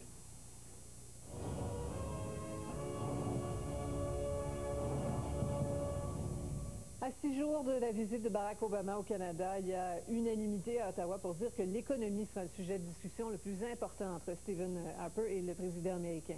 Mais l'opposition estime que le protectionnisme devrait être la priorité de Stephen Harper. Yves Malo. En période de difficultés économiques, il est tentant pour les politiciens de tomber dans le piège du protectionnisme. Ici, sur ce chantier de construction, un ouvrier dit à Stephen Harper que tous les matériaux sont fabriqués au Canada et le premier ministre le félicite. That's the plan our measures. They're populist things to do. I mean, you here in the House of Commons here, we should have buy Canadian policies and... Ce sont des mesures populistes, dit le ministre des Finances. On entend même à la Chambre des communes que nous devrions acheter canadien. Mais le ministre des Finances martèle que le protectionnisme est une erreur et que c'est le message sur lequel devra se concentrer Stephen Harper lors de sa rencontre avec Barack Obama. Le Bloc québécois en convient. M. Harper a une occasion euh, extraordinaire de convaincre le président des États-Unis qu'il y a des mesures protectionnistes qui font actuellement euh, très peur euh, aux citoyens québécois, aux citoyens canadiens. Le NPD et le Parti libéral disent aussi que la lutte au protectionnisme est le principal enjeu de cette visite.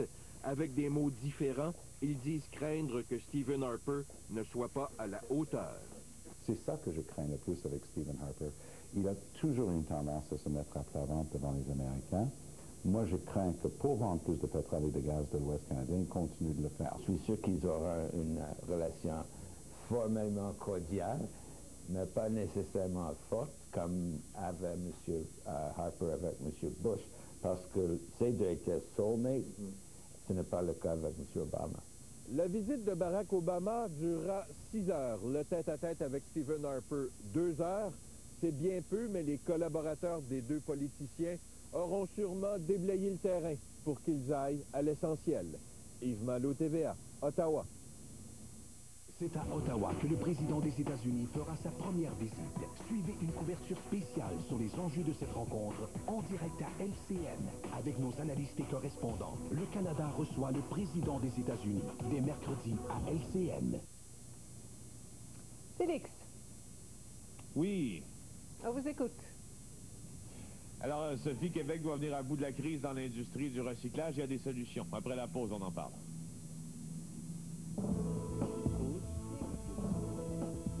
Quand on ménage la chèvre et le chou?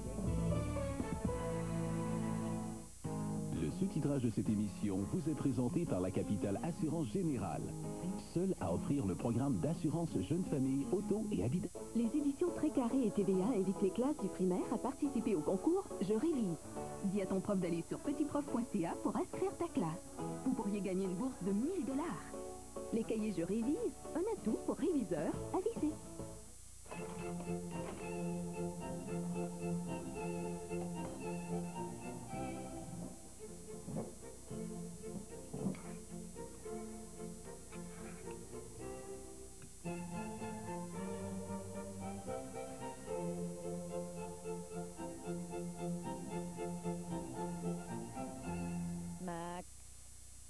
Mange ta crème glacée. Europe Pep, on ne surveille que le meilleur. Grâce au défi J'arrête, j'y gagne, des milliers de Québécois ont réussi à arrêter de fumer. Comme nous. Comme nous. Demandez à un proche de vous parrainer ou d'arrêter avec vous. au moins six semaines et mettez le tabac KO. Visitez dépitabac.ca et inscrivez-vous avant le 1er mars. Ça frappe fort, hein? Ce samedi, les rues de la ville de Québec prennent des airs de fête. C'est le défilé de nuit du Carnaval de Québec. Le célèbre bonhomme vous y invite. Soyez au défilé de nuit du Carnaval de Québec, ce samedi 18h30 à TVA. Vous ne pouvez pas prévoir l'apparition d'un feu sauvage, mais vous pouvez en abréger la durée. Essayez Abreva, le traitement contre les feux sauvages le plus recommandé par les pharmaciens. Abreva est le seul traitement qui empêche le virus de pénétrer la membrane cellulaire, ce qui réduit sa capacité de propagation. Il a été prouvé en clinique qu'Abreva accélère la guérison lorsqu'on l'applique dès le premier signe d'un feu sauvage. Quand un feu sauvage apparaît, contribuez à le faire disparaître rapidement grâce à Abreva. Ceci est une capsule Medifax pour Abreva. Ce samedi en primeur. Voici Ashley. Et lui, c'est Jake. Qu'est-ce qu'il faut pour faire tourner la chance? Un fer à cheval? Non. Un trèfle à quatre feuilles? Non. Un baiser? Un baiser. Et tout peut changer.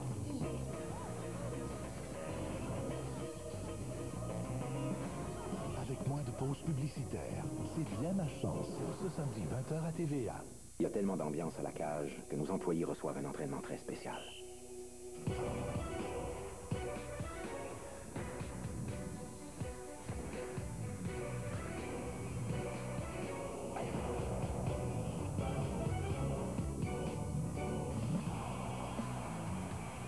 C'est le festival Mexicage. Des plans ensoleillés à partir de 8,99 jusqu'au 15 mars. Et ça, c'est juste la cage qui peut faire ça.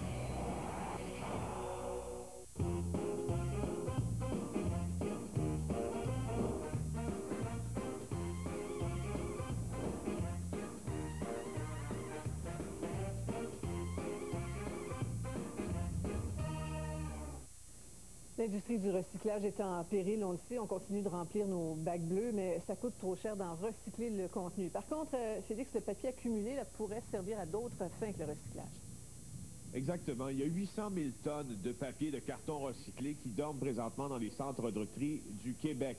Il faut s'en débarrasser parce que le marché s'est effondré. Il n'y a personne pour l'acheter, mais TVA a appris que le ministère de l'Environnement a une solution. Ce ballot de papier recyclé attend pour être brûlé? En premier lieu, ces ballots-là vont être déchiquetés, mélangés à un combustible alternatif, et par la suite, on va en faire de l'énergie. Voyez ces énormes fours, c'est à partir de ceux-ci que l'on fera du ciment. Chez Ciment Saint-Laurent, à Joliette, on brûle de vieux pneus afin de produire de la chaleur. Nous avons visité les installations. Les convoyeurs que vous voyez, c'est le produit qui est extrait du four qu'on appelle le clinker. On pourrait d'ici peu remplacer les pneus en partie par le papier que vous recyclez à chaque jour. En fait, on a déjà brûlé 50 tonnes de celui-ci à une température très élevée. D'ici à ce que de tels débouchés en recyclage puissent se développer, ben, nous, on peut en faire un usage ici en remplacement du charbon, qu'on n'a pas besoin d'extraire du sol. Les tests ont été concluants. Si le marché du papier recyclé reste anémique, il faudra envisager de le brûler dans la composition du ciment. C'est techniquement faisable, donc ils sont satisfaits des résultats obtenus. Maintenant, si euh, ils veulent aller de l'avant et utiliser ces combustibles-là, il va falloir qu'on convienne avec le ministère, la, la compagnie et le ministère pour faire des tests environnementaux. En clair, les centres de tri traversent une période critique et le papier recyclé dort dans les cours. Le prix de la tonne est passé de 117 dollars en automne à 5 dollars en février en raison du contexte économique. Le ministère de l'Environnement tente de venir en aide à l'industrie afin que le papier ne se retrouve pas à l'enfouissement, ce qui pourrait détruire des années d'efforts afin de bâtir des collectes sélectives. Tout le monde recherche des solutions qui vont permettre au centre de de survie, permettre aussi d'avoir un usage environnemental de ces matières-là. L'objectif, c'est pas des enfouir. Alors, euh, Sophie, finalement, ce papier recyclé pourrait euh, se contenir dans cette euh, petite boule, finalement, qui sert à faire du ciment. Cimenterie Saint-Laurent vient de demander des permis au ministère de l'Environnement. Et tout ça est sous étude présentement. Fascinant quand même. Merci beaucoup, Félix. Au revoir. Le président de la France euh, ne fait pas d'excuses aux souverainistes, mais il baisse le ton à leur égard. Euh, Dans une lettre dont TVA a révélé l'existence hier soir, Nicolas Sarkozy cherche à les apaiser tout en restant ferme sur le fond de sa pensée. Alexis Deschênes. 12 heures après que TVA ait révélé l'existence d'une lettre signée par Nicolas Sarkozy et adressée au chef du PQ et du Bloc, les souverainistes se ravisent et acceptent finalement de la rendre publique. Votre lettre a retenu toute mon attention, écrit d'abord le président français, cinq jours seulement après que Pauline Marois et Gilles Duceppe l'aient accusé par écrit d'être le chef d'État étranger qui leur a le plus manqué de respect de toute leur histoire en associant les souverainistes au sectarisme. À quelque part, nous, on n'attendait pas de réponse. Parce... En deux pages, le président français ne revient pas sur ses propos, ne s'excuse pas non plus et ne change rien sur le fond de sa pensée. Je souhaite que cette nouvelle relation franco-québécoise, écrit-il, s'épanouisse en harmonie avec la relation que la France entretient avec le Canada dans son ensemble. Mais il ajoute quelques lignes qui feront du bien aux souverainistes. Les Québécois, dans la diversité de leurs engagements et de leurs opinions, tiennent une place particulière dans le cœur des Français, écrit-il. Ce lien si profond constitue notre trésor commun. C'est ce trésor que je voudrais, avec tous les Québécois, promouvoir et valoriser davantage encore. Il tient compte, dorénavant, de cette diversité des engagements et des opinions, incluant donc les opinions des souverainistes. Dans sa première déclaration, le ton était plus provoquant certainement que dans la lettre, où le ton est nettement fraternel. La rapidité de la réponse, et comme je vous le dis, le ton de sa réponse, les deux choses, quand on les met ensemble, on voit bien que c'est une volonté d'apaisement. Les fédéralistes à Québec comme à Ottawa préféreront ne pas commenter. En ce qui nous concerne, nous, au gouvernement fédéral, on n'a pas de problème avec la France. Sarkozy conclut en assurant les leaders souverainistes de sa considération, ce qui est satisfaisant pour les deux partis qui jugent le débat clos et la correspondance terminée. Alexis Deschênes, TVA, à Québec. Bombardier, Bell Hélicoptère, Pratt et Whitney qui ont tous annoncé des mises à pied dernièrement. Enfin, une bonne nouvelle pour euh, l'industrie aéronautique québécoise. Et Georges, elle nous vient de CAE.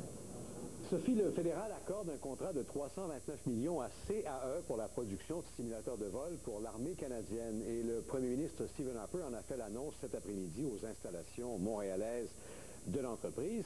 330 emplois seront créés pendant les trois premières années, dont la moitié au Québec, puis une cinquantaine seront maintenus par la suite. Les simulateurs serviront notamment à l'entraînement des pilotes de la nouvelle flotte d'avions Hercule de l'armée canadienne. C'était un vrai vendredi 13 en bourse. Les marchés ont mal terminé une semaine difficile où les indices ont perdu de 3 à 5% Aujourd'hui, à Toronto, le TSX reculait de 100 points, tandis qu'à New York, le Dow en perdait 82. Le fait saillant de la semaine demeure l'occasion manquée du nouveau secrétaire au Trésor, Timothy Geithner, qui a grandement frustré les marchés mardi quand il a dévoilé un plan imprécis sur le sauvetage des banques américaines. La sanction a été immédiate. Les bourses sont retombées au plancher. Reste à voir ce qui sortira du sommet des ministres des Finances du G7 qui s'est ouvert ce soir à Rome dans un contexte de récession mondiale. Aucune annonce majeure n'est vraiment prévue avant le sommet du G20 de toute façon au mois d'avril. Voilà Sophie. Merci Georges. Bon week-end. Vous aussi.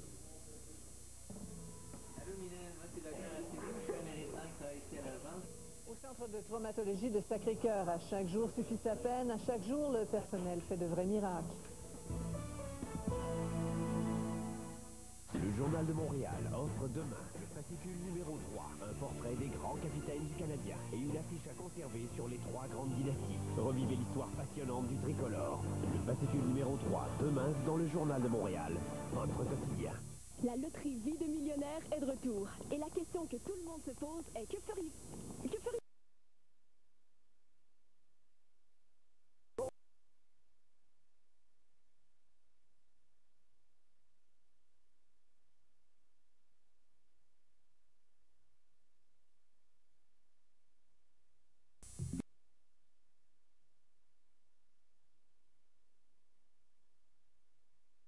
que le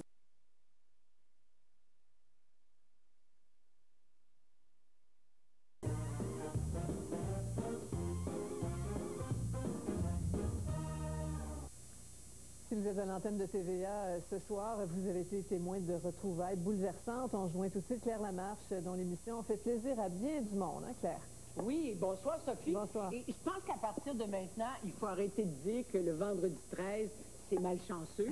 parce qu'aujourd'hui, on a réussi jusqu'ici 13 belles retrouvailles. Et parmi ces... Oui, oui. Grâce au Colombo, bien sûr. Et dans ces retrouvailles-là, il y a une belle grand-maman qui a retrouvé sa petite fille Christelle avec la complicité de la tante Nancy.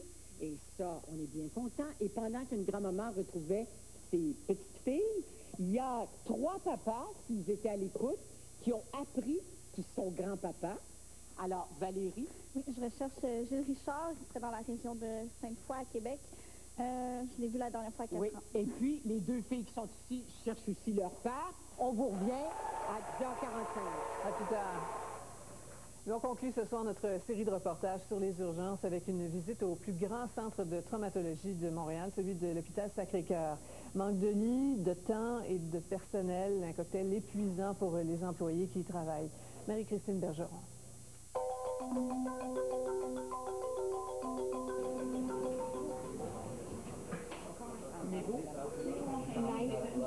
On respiratoire, Centre de trauma, 2h51, l'action commence. Première civière, un grand ballet médical s'orchestre autour du malade. Un, deux, trois. Il manque encore cette nuit quatre infirmières. Elles jonglent entre l'épuisement et la crainte d'erreur médicale. C'est pas rare que je commence ma nuit avec un, un- une boule de stress. Puis, euh, tu sais, quand il arrive 8 heures, là, c'est comme euh, le soulagement total. Le premier patient vient à peine d'être stabilisé que déjà un autre arrive. 3h39, la dame souffre de douleurs thoraciques. Bonjour, madame?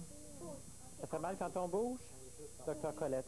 Donc, vous étiez couché quand la douleur a commencé? travailler avec l'équipe réduite, puis euh, savoir qu'il faut se débrouiller avec moins de moyens, mais euh, faire quand même des miracles. Oui, c'est ça, il faut faire des miracles quand même. Médecins, infirmières, inhalothérapeutes, techniciens en radiologie, en électrocardiogramme, ils sont presque 10 pour accueillir chaque trauma. L'adrénaline chasse leur fatigue. On vient de recevoir un capotage. Euh, jeune homme plus ou moins collaboratif, en fait, euh, probablement commotionné ou intoxiqué, on ne sait pas. 4h03, la salle de trauma ressemble à une véritable ruche. Pas le temps de prendre de pause ni de repas, c'est leur quotidien. normal. Il dit que c'est normal pour eux de travailler 60 heures et plus. Pour respecter les délais de livraison, on va donc mettre les bouchées doubles et travailler ce samedi encore. Saint-Valentin ou pas. On embrassera les tuyaux, se contentent de dire ceux dont les amoureuses sont à des milliers de kilomètres. Anne-Louise Despassé, Radio-Canada, Saint-Hubert.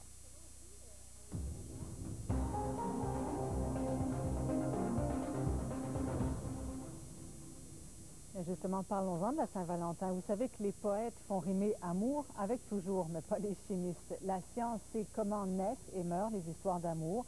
Alors, avis aux Valentines et aux Valentins en puissance, le coup de foudre dure au maximum 18 mois, sans possibilité de garantie prolongée. Dany Lemieux.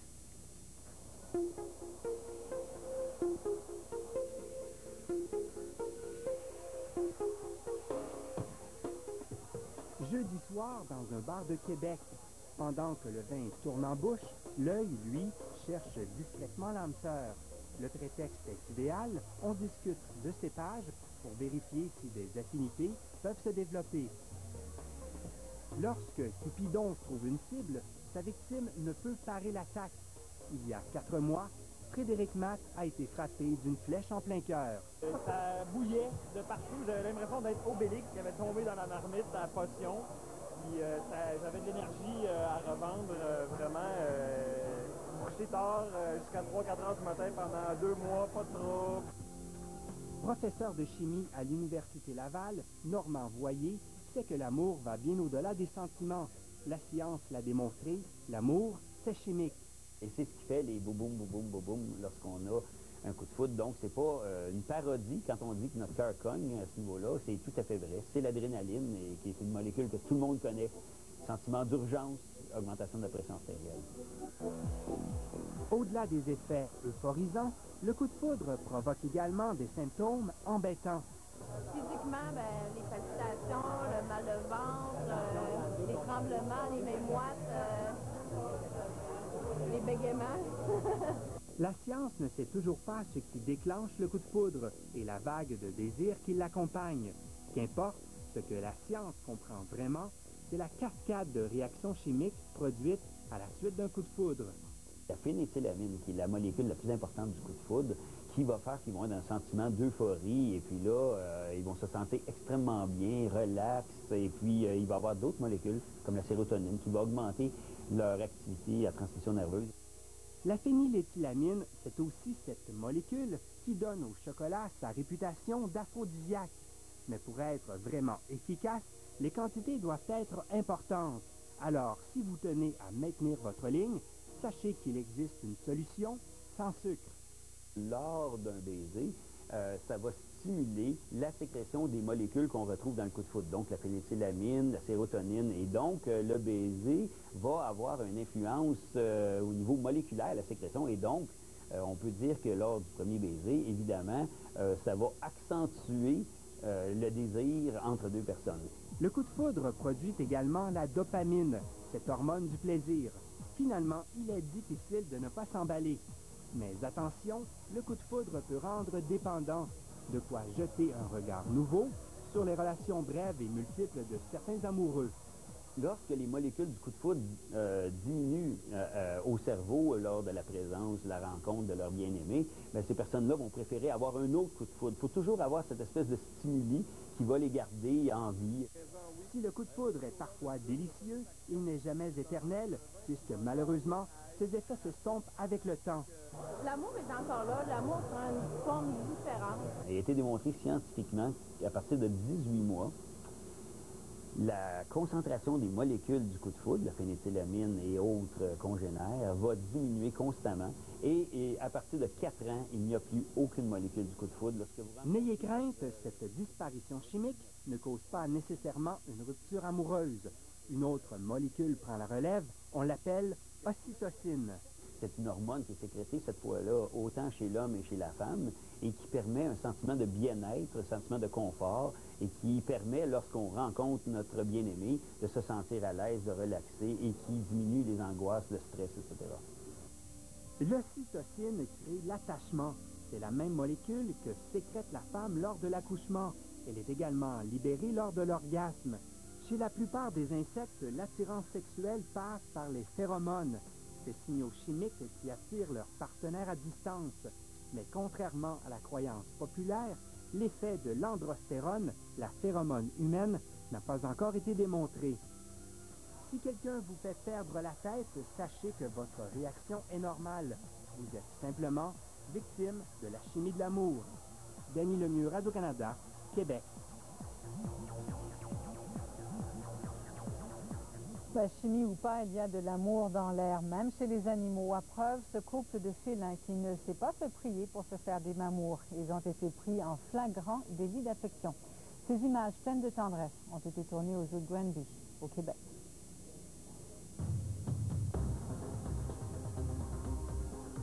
Les confessions d'une accro de magasinage, les hauts et les bas d'une achetuse compulsive dans un instant au téléjournal. Dress that person. Vous retrouvez, c'était comme... Voyez comment est-ce qu'il y a encore du fait ici? Les gens le savent, ils nous ont vus, c'était comme une vraie petite ruche ici, en régie derrière, avec toute l'équipe. Là. Il s'est passé plein de choses. Vous allez avoir des bonnes nouvelles pendant les quelques blocs qui nous restent. Mélissa, toi, tu as parlé de ton papa tout à l'heure, oui. d'origine portugaise. Mhm. Oui, Roberto. Roberto, il est au bout du fil pour toi.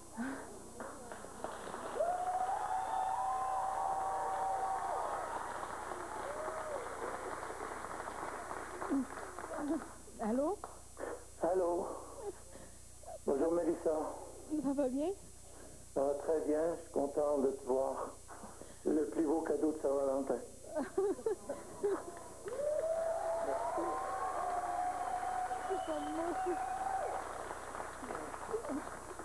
Je m'attendais tellement pas à ce que tu appelles. Je savais même pas si tu le savais. Ça fait des années que j'attends ce moment. Merci, euh, je suis là pour toi et on, peut se donner euh, numéro de téléphone comme tu veux. Je serai prête à te rencontrer le plus tôt possible. Tu restes dans quel coin? Moi, je reste à Montréal, toute la famille à Longueuil. Euh, mais moi, je reste à Montréal. Ben oui. Vous pouvez pas venir? Euh, ce soir, c'est impossible parce que j'ai mon père euh, sur observation à l'hôpital Pierre Boucher. Puis il faut que je reste à côté de ma mère. OK.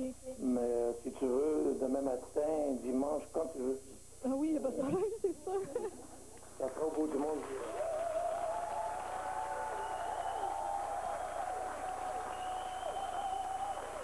Alors, c'est ça. Je pense que ça rassure Mélissa de savoir que vous étiez prête à vous joindre à nous, mais que, à cause de la santé Non, de je papa... ne veux pas de mauvaises nouvelles avec une bonne nouvelle, c'est sûr.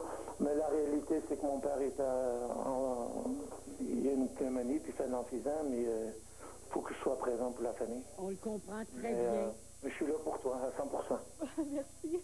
On apprécie beaucoup, Roberto, que vous vous soyez manifesté. Merci pour votre émission. que, Roberto, est-ce que vous voyez votre fille présentement? Oui, je le vois. Alors, vous bien savez, réussi. vous savez que vous êtes grand-papa?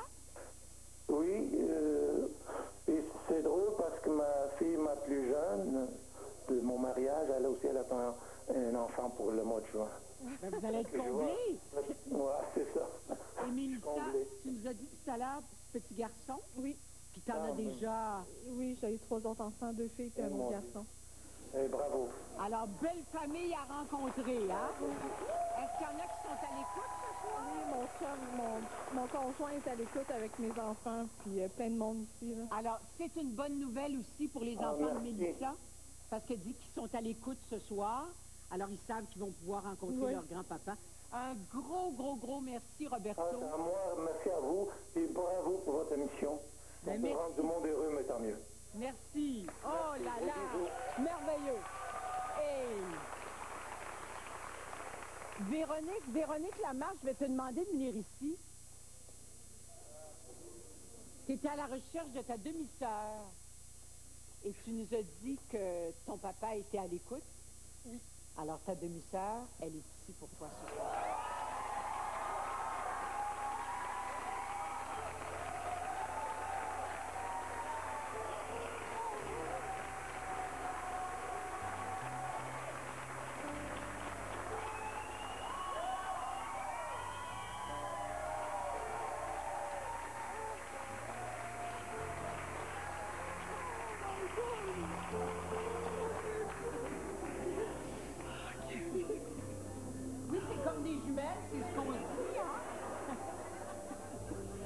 Véronique et Caroline, vous vous ressemblez comme c'est pas possible. Je sais pas, Caroline, si tu vas être capable de nous parler. Je sais pas. Après tant Raconte-moi comment tu as appris que Véronique te recherchait. Par téléphone. C'est ma soeur, Mélissa, qui me dit euh, Caroline, t'as-tu écouté télé- télé- la télévision? Je dis non. Elle dit Ta soeur te recherche. Ma soeur. Là, je là. Ben oui, là, j'ai appelé tout le monde. Là, le téléphone n'arrêtait pas de sonner à la maison. Oui, t'es recherché, t'es recherché. Là, j'ai appelé, puis ils m'ont dit de me rendre. Je me suis rendue. Et est-ce que tu connaissais l'existence de Je Véronique? savais que j'avais une demi-sœur. Toi, t'es la grande sœur? Et qu'est-ce que ça te fait, là, de pouvoir la serrer dans tes bras? Ça fait drôle. Après 23 ans, Et puis, il y a... Tu nous as dit tout à l'heure, euh, Véronique, que ton papa était à l'écoute. Oui, oui, oui, il est là. Allô? Oui. Alors, c'est ça. Pierre aurait dû être avec nous ce soir, mais il était retenu en Abitibi. Alors, j'imagine, là, il voit ses deux, ses deux filles. Il doit être fier, hein? il doit, il doit pleurer, là. oui. C'est un être, c'est un homme sensible? Oui, oui, oui, il est très proche euh, de ses émotions, puis surtout de la famille, euh, très, très, ouais. Il est... Oh. Est-ce que tu as des petits-enfants, Caroline? Oui, j'en ai une. Deux demi. Alors, vous allez, vous allez refaire une famille, en quelque sorte? oui. Oui. Là, toi, toi, Véronique, tu n'habites pas en Abitibi. Non, non, moi, je reste à Montréal, oui. Alors, les filles, vous allez venir prendre un verre de vin avec nous tout à l'heure? Oui, oui, oui. Ben, merci beaucoup de ta présence. Les Colombos. Les Colombos, on continue de travailler très fort. Alors, vous pouvez aller sur notre site Internet, prendre plus d'informations sur les gens qu'on recherche. Vous continuez de nous téléphoner et de nous faire parvenir des courriels. On a encore une bonne partie d'émission et d'autres retrouvailles à venir. À.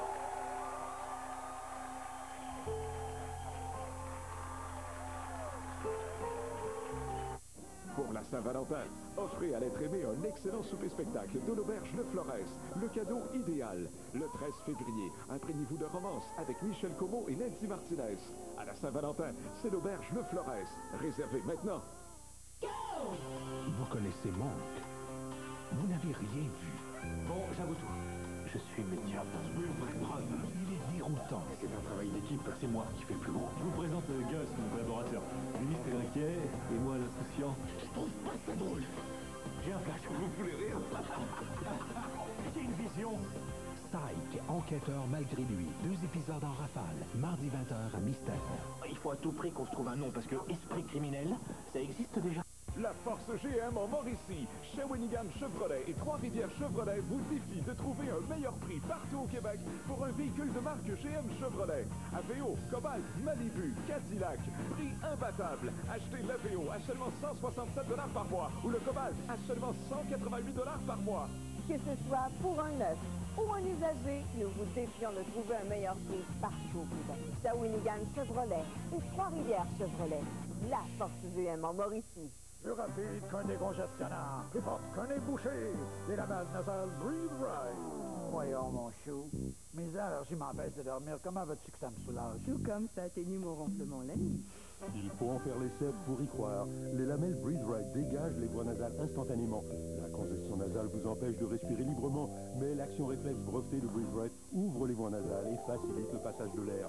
Respirez mieux, dormez mieux avec Breathe Right. Couleur ocre originale ou claire pour peau sensible.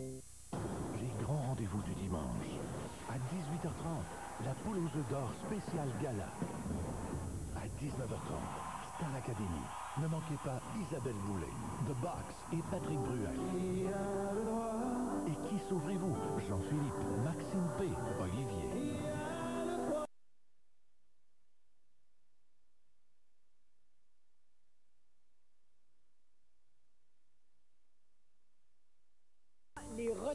Se poursuivent grâce à vous à la maison et aux informations que vous continuez de nous donner. J'ai des bonnes nouvelles pour Nathalie Rochelot. Tu étais à la recherche, Nathalie. Bon, oui, c'est ça. Alors, ta demi-sœur, dont tu nous as parlé. Fabienne. Fabienne. Anciennement Fabienne Larocque. Maintenant, Voilà. elle s'appelle Fabienne Lucier. Elle est au bout du fil pour toi. Wow. Bonjour Nathalie. Est-ce que tu m'entends? Oui? Ça va bien? Oui. Oui. Ça Comme fait très spécial. Oui, très. Il y a Diane aussi qui est avec moi. OK. Où est-ce qu'elle est, Diane? Ben, viens-t'en donc, Diane, écoute. Attends, je vais passer devant toi, là, puis bon. Alors, Diane, c'est une autre sœur. Bonjour. Bonjour. L'aînée de la famille. L'aînée. La plus grande. On est contente, Fabi, de te voir. Ça fait De plaisir. t'entendre. Ça fait plaisir. On a hâte de te voir et de te toucher, surtout. ah oui, tant que ça? Oui. Est-ce qu'on pourrait espérer ça pour ce soir, Fabienne? Euh, non, c'est pas possible pour ce soir parce que j'ai plus de véhicule. J'ai eu un accident, puis là, je suis à la recherche d'un nouveau véhicule. Coin? Saint-Jérôme, Bellefeuille. Oh! Moi, moi, je t'ai fait Agathe, elle était tremblant. Tabarouette, on est tous de Laurentides. Yeah! On se repogne tout à l'heure. Eh oui.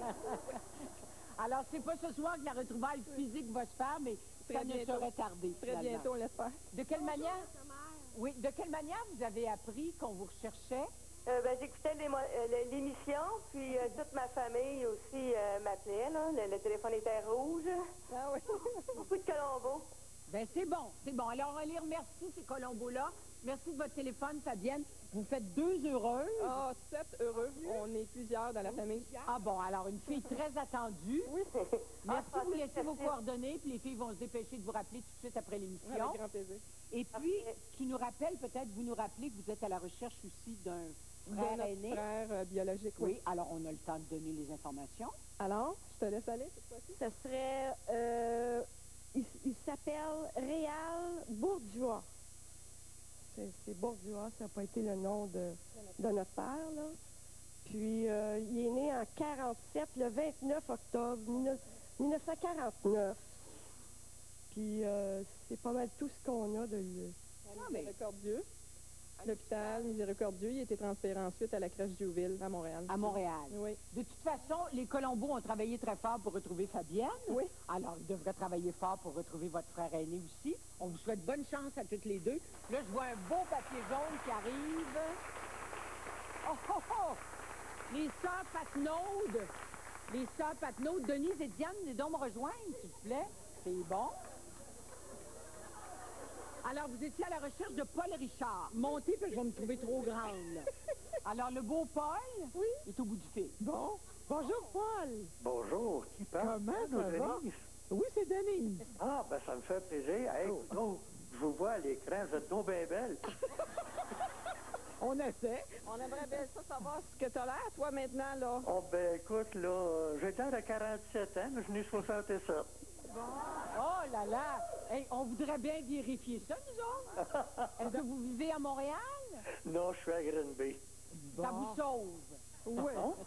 Mais là, euh, j'espère qu'on va, on va avoir tes coordonnées, puis on va pouvoir se, se parler, ben, vous prendre rendez-vous, je sais pas.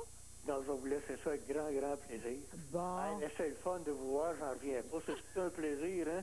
Ah ben pour nous autres aussi de t'avoir retrouvé, franchement, là. Félicitations pour l'émission, parce que je vous le dis, ça donne tout un feeling quand on passe à Claire-la-Mer. Et c'est- Est-ce que vous étiez à l'écoute tout à l'heure quand elles ont lancé leur appel? C'est ma petite fille qui m'a appelé, mais le temps que je suis venu répondre au téléphone, malheureusement, c'est là que le tape a passé avec l'émission. Avec euh, le, le film, ma femme me disait que on vous avait vu, mais moi j'étais au téléphone, donc je n'ai pas vu votre image. C'est là que je voulais voir ce soir. là. Et euh, franchement, euh, je suis vraiment content d'avoir de vos nouvelles.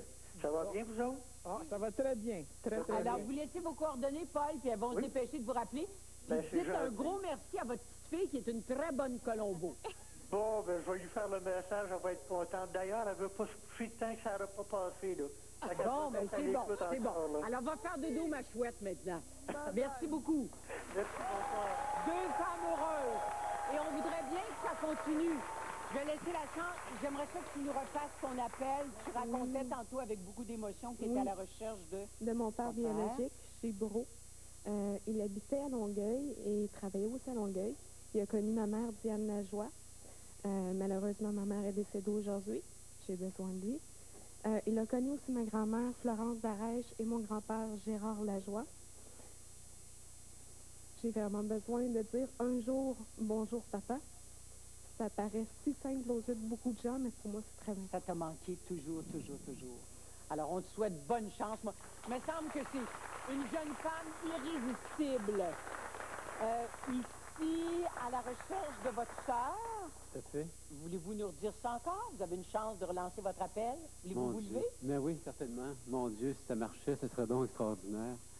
Euh, parce que j'ai essayé depuis que je sais, à l'âge de 27 ans, qu'elle existe. Puis ce que ça a fait, ça a créé un grand vide. Alors, euh, Marthe, c'est le nom que tu portais euh, à ta naissance. Et euh, donc, tu es née à Miséricorde, Miséricorde à Québec. Tu aurais été adoptée à Québec aussi. Alors, si jamais je peux te retrouver, ben, je croise mes doigts. Puis, j'ai deux enfants aussi à te présenter. Alors, ce sera un grand plaisir de te retrouver.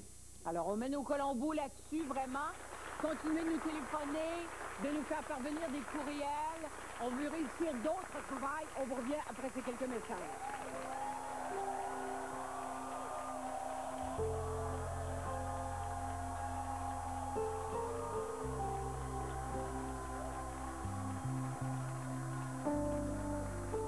Cette semaine, dans votre 7 jours, on a posé 10 questions.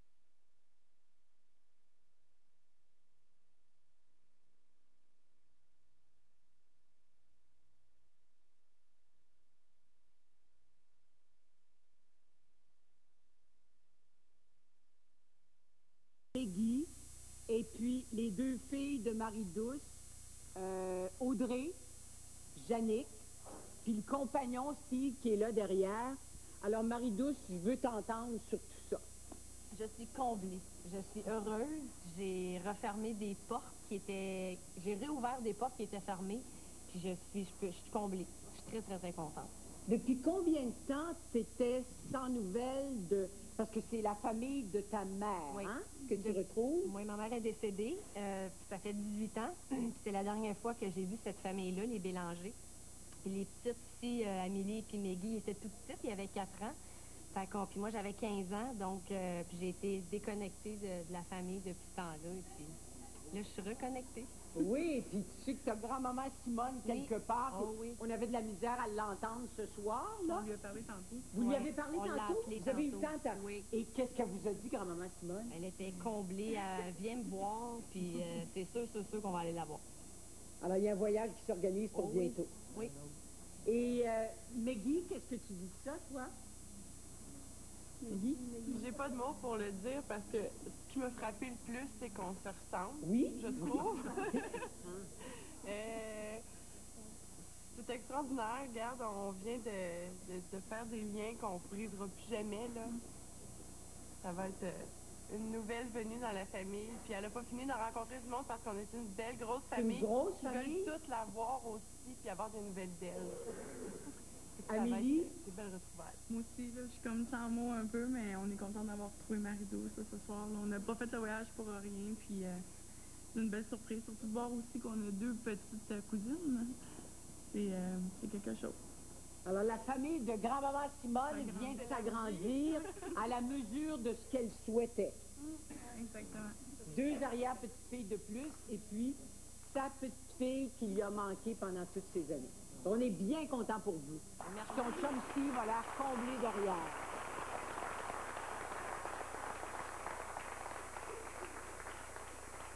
Alors, il y a des gens qu'on attend au téléphone, on les a pas encore, on continue de les espérer. Je vais donner la chance à des personnes de relancer peut-être un appel. Toi, tu nous disais que tu cherchais ton papa. Mon père, oui. Veux-tu te lever? Mhm. Alors, euh, oui, bien, je rêverais de pouvoir t'appeler papa euh, en direct puis vraiment te voir. Euh, C'était pas toujours évident. Je savais pas si j'avais un besoin de te voir ou pas. Mais là, euh, vraiment pour être en paix. Euh, Tu nous redonnes, oui, comme, Oui. comme des gens qui te... Ben, tantôt, quand justement il y a eu une retrouvaille qui a dit que ça le soulageait de sentir sa mère, ça m'a tellement touchée, parce que j'ai l'impression que ça me soulagerait de te sentir. Alors, mon père, P. Wallet, j'ai vraiment envie de te voir. On te le souhaite, ma belle. Et parlant de papa, je pense que Pierre Lamarche est au téléphone. Ah, on l'a, ben, on l'avait, on l'a pu, on- mais il y a quelque chose qui s'en vient. Alors, euh, oh là là, Karine Paquette. Oh non, ben c'est ça. René Clément, écoute, René, il a communiqué avec nous une première fois. Là, on essaie de le rappeler. Sa ligne est en dérangement, mais euh, il est très content. Il t'a pas oublié. Il a hâte de te voir. Et puis, écoute, il aurait pu, il aurait pu être là ce soir. Il aurait aimé être là. Il y a une hernie discale. Alors, tout ce qui nous manque, si jamais euh, René, la ligne, peut, je sais pas, il y a peut-être plein de gens qui l'appellent, ou, mais en tout cas, il t'a pas oublié, et puis tu vas avoir l'occasion de le revoir. Wow! C'est bien, hein? Merci beaucoup. Et là, je sais, les filles, Véronique et Caroline, je sais qu'on essaie de, de- de- Tout à l'heure, on avait Pierre, je ne sais pas si on l'a perdu, mais en tout cas, il vous voit. On l'a, on l'a. Alors, Pierre, vous nous entendez?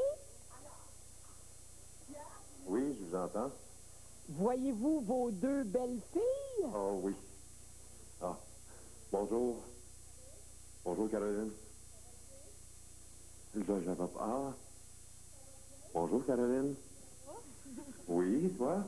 Oui, ça va très bien. Oh, t'as pas changé? Non, hein? Tu es aussi belle femme? Merci. Ah, merveilleux. Mon cœur palpite. Puis toi, comment tu vas? Ah, moi, c'est... Là, je peux pas... Je peux pas demander mieux, là. Puis, euh, je, peux, je peux dire là, que... euh, je peux dire que je suis, je suis comblé, là. T'es comblé? accompli justement de t'avoir retrouvé après plusieurs années qu'on on peut en parler un peu plus tard, là, mais euh, Oui. et, euh, heureusement l'appel euh, on a fait ben, on a fait finalement de rejoindre Claire Lavance et puis avec les efforts de Véronique. OK. On était chanceux. Mais je suis content de te voir. Merci. Oui. Ah, j'ai une photo de toi. J'ai une photo de toi quand tu avais 10 ans. Toute la semaine, on l'a vu sur le mur, on s'est dit, on va se retrouver, Caroline. On va se retrouver. Mais là, c'est fait. Oui, bravo. Alors, bravo à Valérie qui a déclenché tout ça, qui vous représentait en studio, Pierre, ce soir, parce qu'on nous a dit que vous étiez retenu en Abitibi. On vous remercie, puis les deux filles sont très contentes. Ça fait deux demi-sœurs qui se retrouvent, puis un papa qui est quelque part et puis qui est bien heureux tout ça. Bravo à vous trois. Regarde, mon ami, Karine, j'ai dit tout à l'heure que René Clément avait un problème avec sa ligne téléphonique. Là, là, là tu t'es arrangé, il est au bout du fil. Allô? Alors? Oh mon Dieu, ça va bien?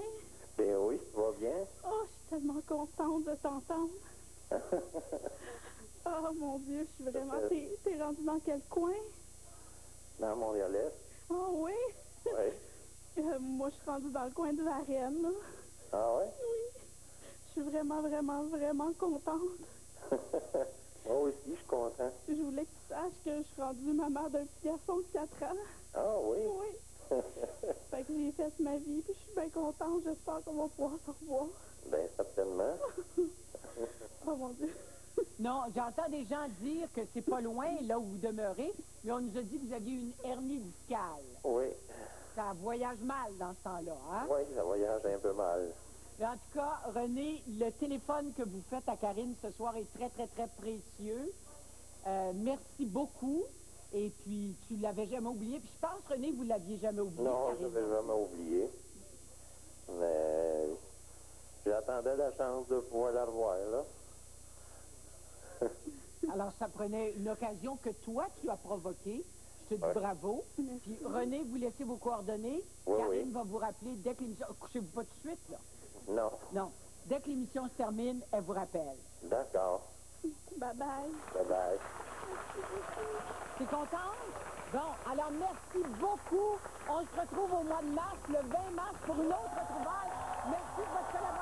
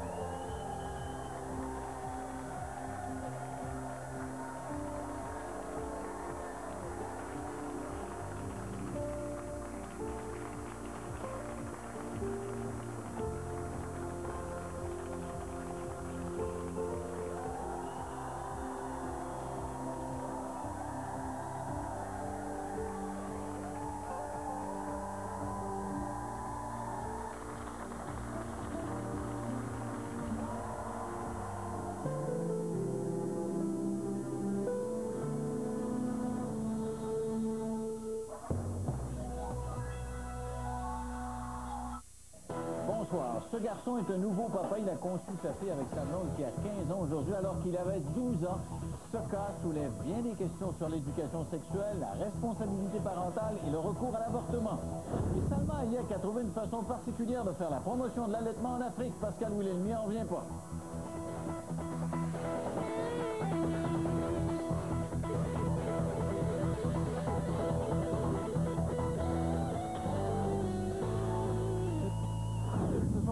D'un événement qui s'est produit en Grande-Bretagne, mais qui a un retentissement planétaire. Euh, D'abord parce que l'image est forte. Euh, un petit gars de 13 ans, aujourd'hui avec sa petite fille euh, qu'il a eue avec une mère de 15 ans. Le jeune garçon mesure 4 pieds, hein, vous le voyez. Il n'a pas encore mué. Il a couché une seule fois avec sa blonde. Quant à sa compagne, ben, elle a 15 ans, elle est devenue enceinte et ils avaient décidé à ce moment-là, tous les deux, de le cacher à leurs parents. Ce n'est qu'après quatre mois et demi de gestation que les parents se sont rendus compte qu'elle était enceinte. Ils ont accepté leur décision de garder le bébé. Ça pose quand même toute une série d'interrogations sur la façon d'élever les enfants. On va en parler avec deux sexologues, Mario Larrivé-Côté et Marie-Paul Ross, qui est dans nos studios de Québec. Bonsoir à vous deux. Bonsoir, Denis. Alors, Madame Ross, comment vous réagissez quand vous entendez ce genre de nouvelles-là? Bien, c'est des réalités qui vont avec notre manque social, dans le sens que la société actuelle, je pense que à travers le monde, même l'éducation sexuelle, c'est- important, c'est central, c'est vital. Et on, on se déresponsabilise beaucoup en tant que société euh, face à, cette- à ce besoin que les jeunes ont. Les jeunes n'ont pas ce qu'ils ont besoin pour mieux orienter leur euh, sexualité. Mais euh, le petit gars a fait l'amour une fois avec sa blonde et il savait pas comment ça se passait, il ne connaissait pas, il n'avait aucune idée de ce qui se faisait là et il est père de famille maintenant. Est-ce qu'on aurait dû lui parler à 12 ans, 11-12 ans, de la réalité des choses? Même 11-12 ans, c'est trop tard. Il faut commencer dès que l'enfant pose des vraies questions.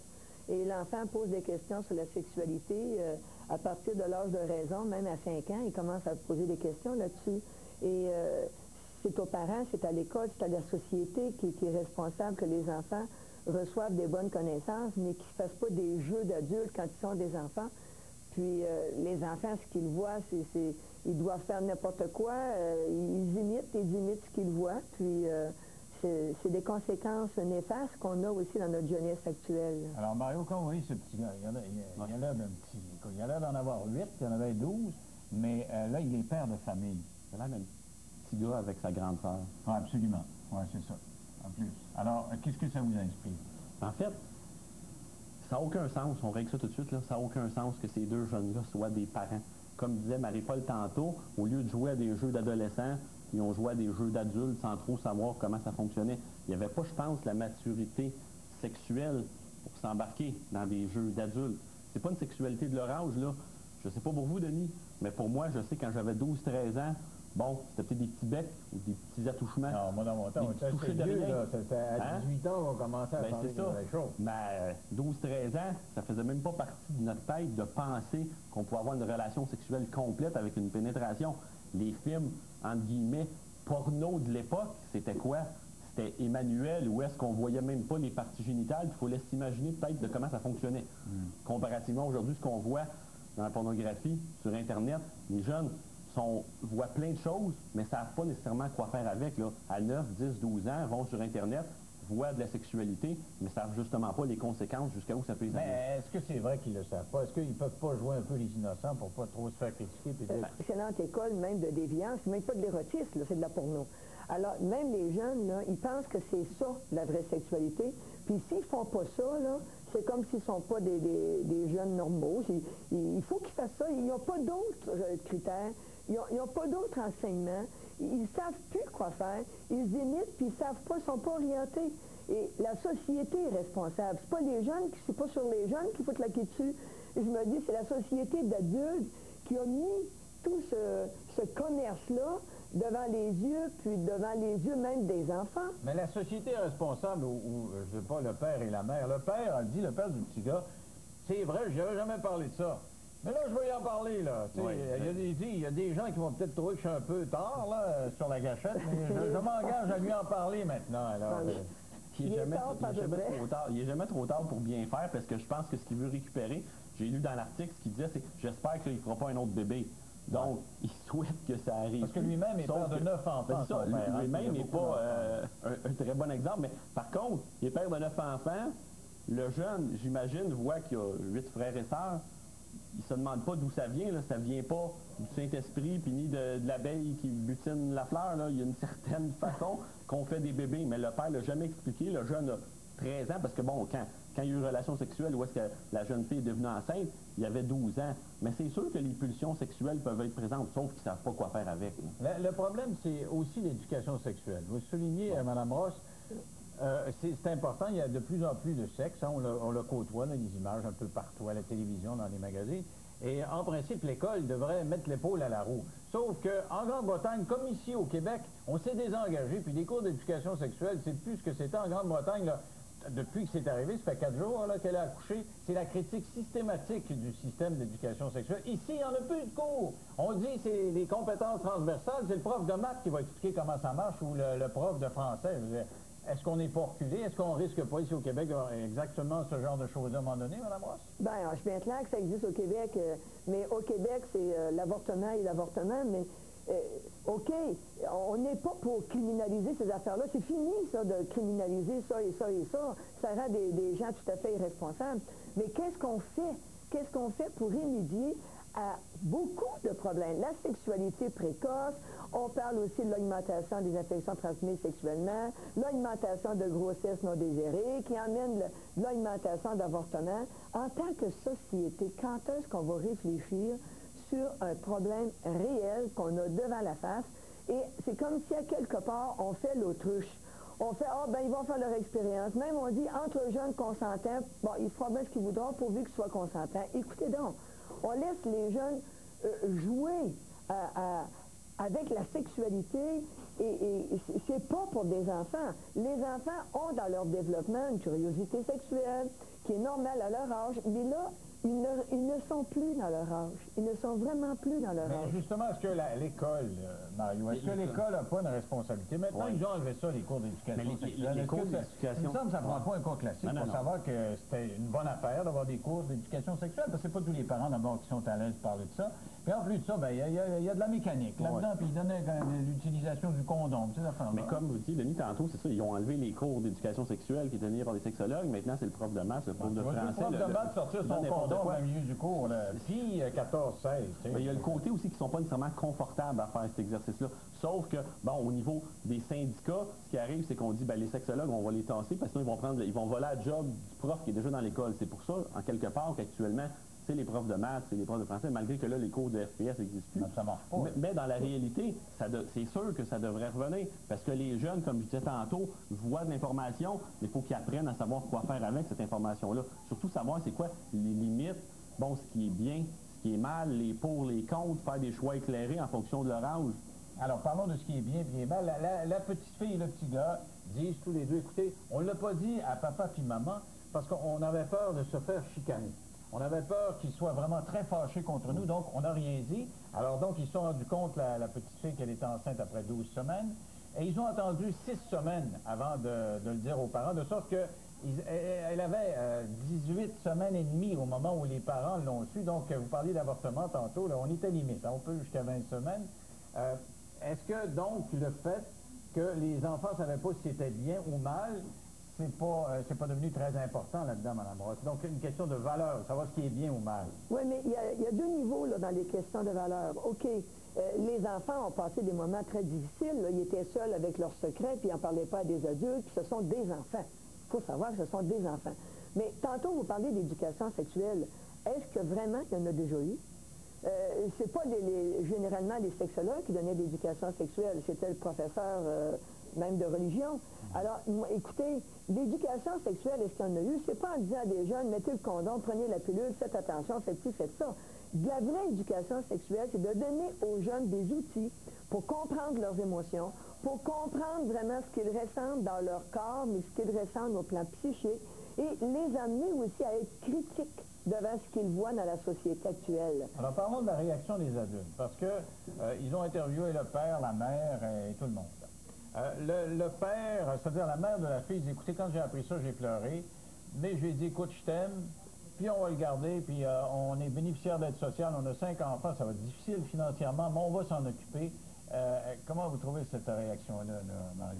En fait, en- en- encore là, comme parents, sont là pour essayer de conseiller leurs enfants, pour les encadrer. Je pense que la meilleure solution aurait été, dans ce cas-là, de souhaiter l'avortement, qu'on soit pour, qu'on soit contre. Mais dans ma tête, c'est inconcevable qu'un petit gars de 13 ans avec une petite fille de 15 ans ait un enfant.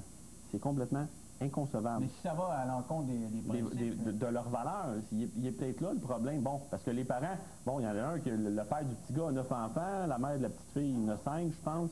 Donc, j'imagine qu'ils doivent être plus dans un- une philosophie de pensée plus pro-vie qu'autre chose. Là. Mais j'ai déjà reçu sur le plateau une jeune, jeune femme qui a, qui a vieilli, mais qui a eu son premier enfant à 14 ans.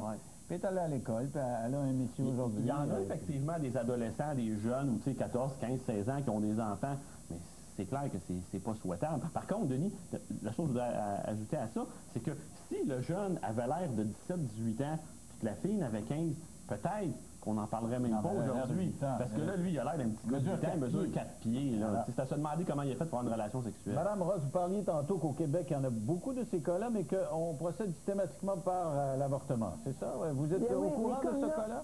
Bien, c'est bien clair qu'il y en a beaucoup. Euh, on est, dans- on est des, des champions dans l'avortement au Québec. Mais- des on jeunes met pas- de- on de met cet pas d'autres âge-là? solutions. On met pas d'autres solutions à la place. Euh, bien sûr, moi je rencontre des personnes qui travaillent dans les écoles, puis euh, une jeune fille de 15 ans qui, qui est enceinte dans la société actuelle dans laquelle on vit, où les jeunes restent immatures longtemps parce qu'on ne leur donne pas de bons outils non plus pour avancer dans leur maturation. Et on parle d'avortement. Écoutez, au Québec, là, quand est-ce qu'on va se pencher sur des vrais problèmes, puis qu'on va arrêter de donner des solutions pour mettre comme euh, cacher les problèmes? Mais d'après vous, qu'est-ce qui est mieux, c'est garder l'enfant ou de faire avorter? là, ben, quand on voit ce s'il y a des parents pour l'adopter, cet enfant-là, si les parents de la fille sont prêts pour l'adopter, Parce que... Ben, ils disent on va s'en occuper puis on va payer pour. On n'a pas une scène, mais on va trouver de l'argent. Bon, ben, je veux dire, parce que là, l'avortement, là, il faut, faudrait vraiment regarder toutes les conséquences d'un avortement chez la fille qui souffre. Et moi, j'ai souvent l'occasion de recevoir des femmes euh, de tout âge qui ont souffert des avortements. Puis euh, je pense qu'elles auraient des beaux témoignages à donner de comment est-ce que c'est douloureux, c'est extrêmement douloureux et que ça brise la vie d'une femme.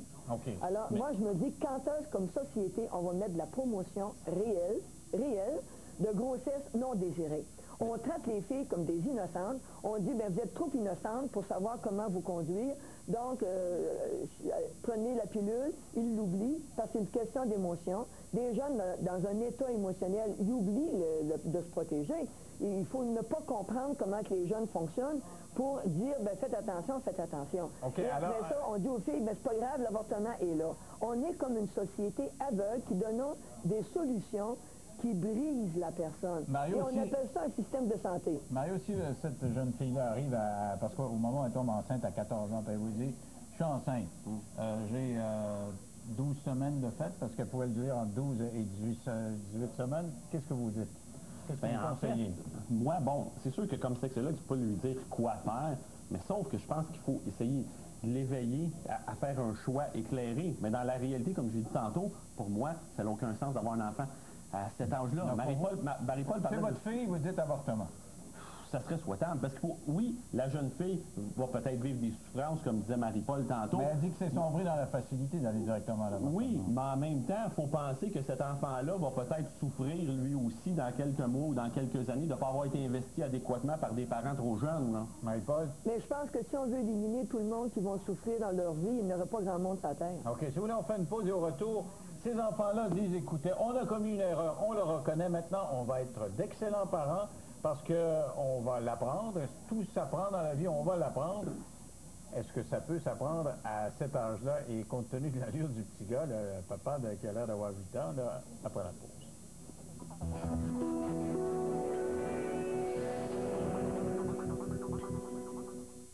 À chaque nouvelle édition de Star Academy, je me replonge dans mes souvenirs. Je le sais ce que c'est. C'est l'aventure d'une vie. Des fois, j'aimerais tellement être un petit oiseau juste pour voir tout ce que les académiciens vivent. Maintenant, vous pouvez voir tout ça. Internet haute vitesse de Vidéotron vous offre de partager la vie des académiciens grâce à un accès gratuit aux 40 caméras web en direct de l'Académie. Internet de Vidéotron est offert à partir de 9,95 le premier mois. Cool!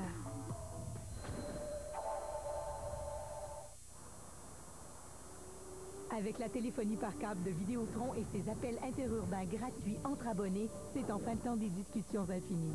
De Chicoutimi à Saint-Rémy, vous pourrez parler de comédie et tragédie, d'astrologie et de magie, de vos hobbies et de vos manies.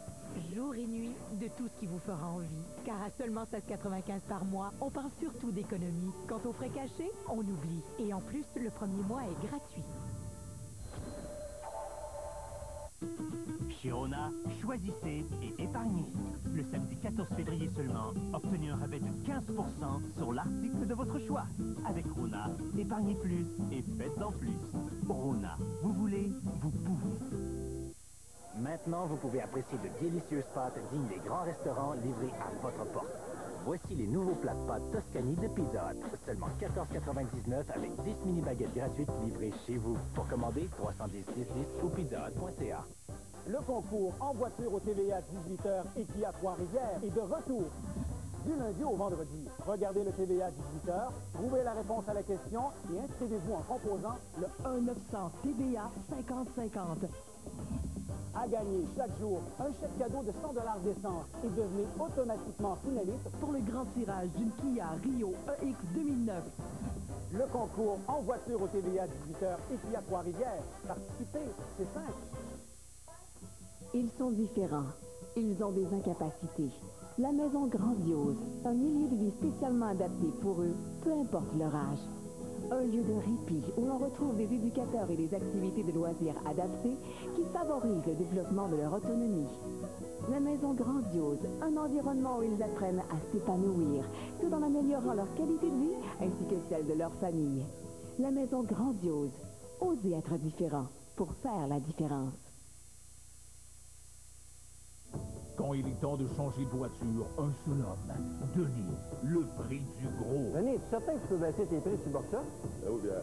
De la qualité, du choix, du service et surtout des prix. La Rondo 2009 est à vous pour 5 295 ou 199 en location. Voilà, Madame Mongrain.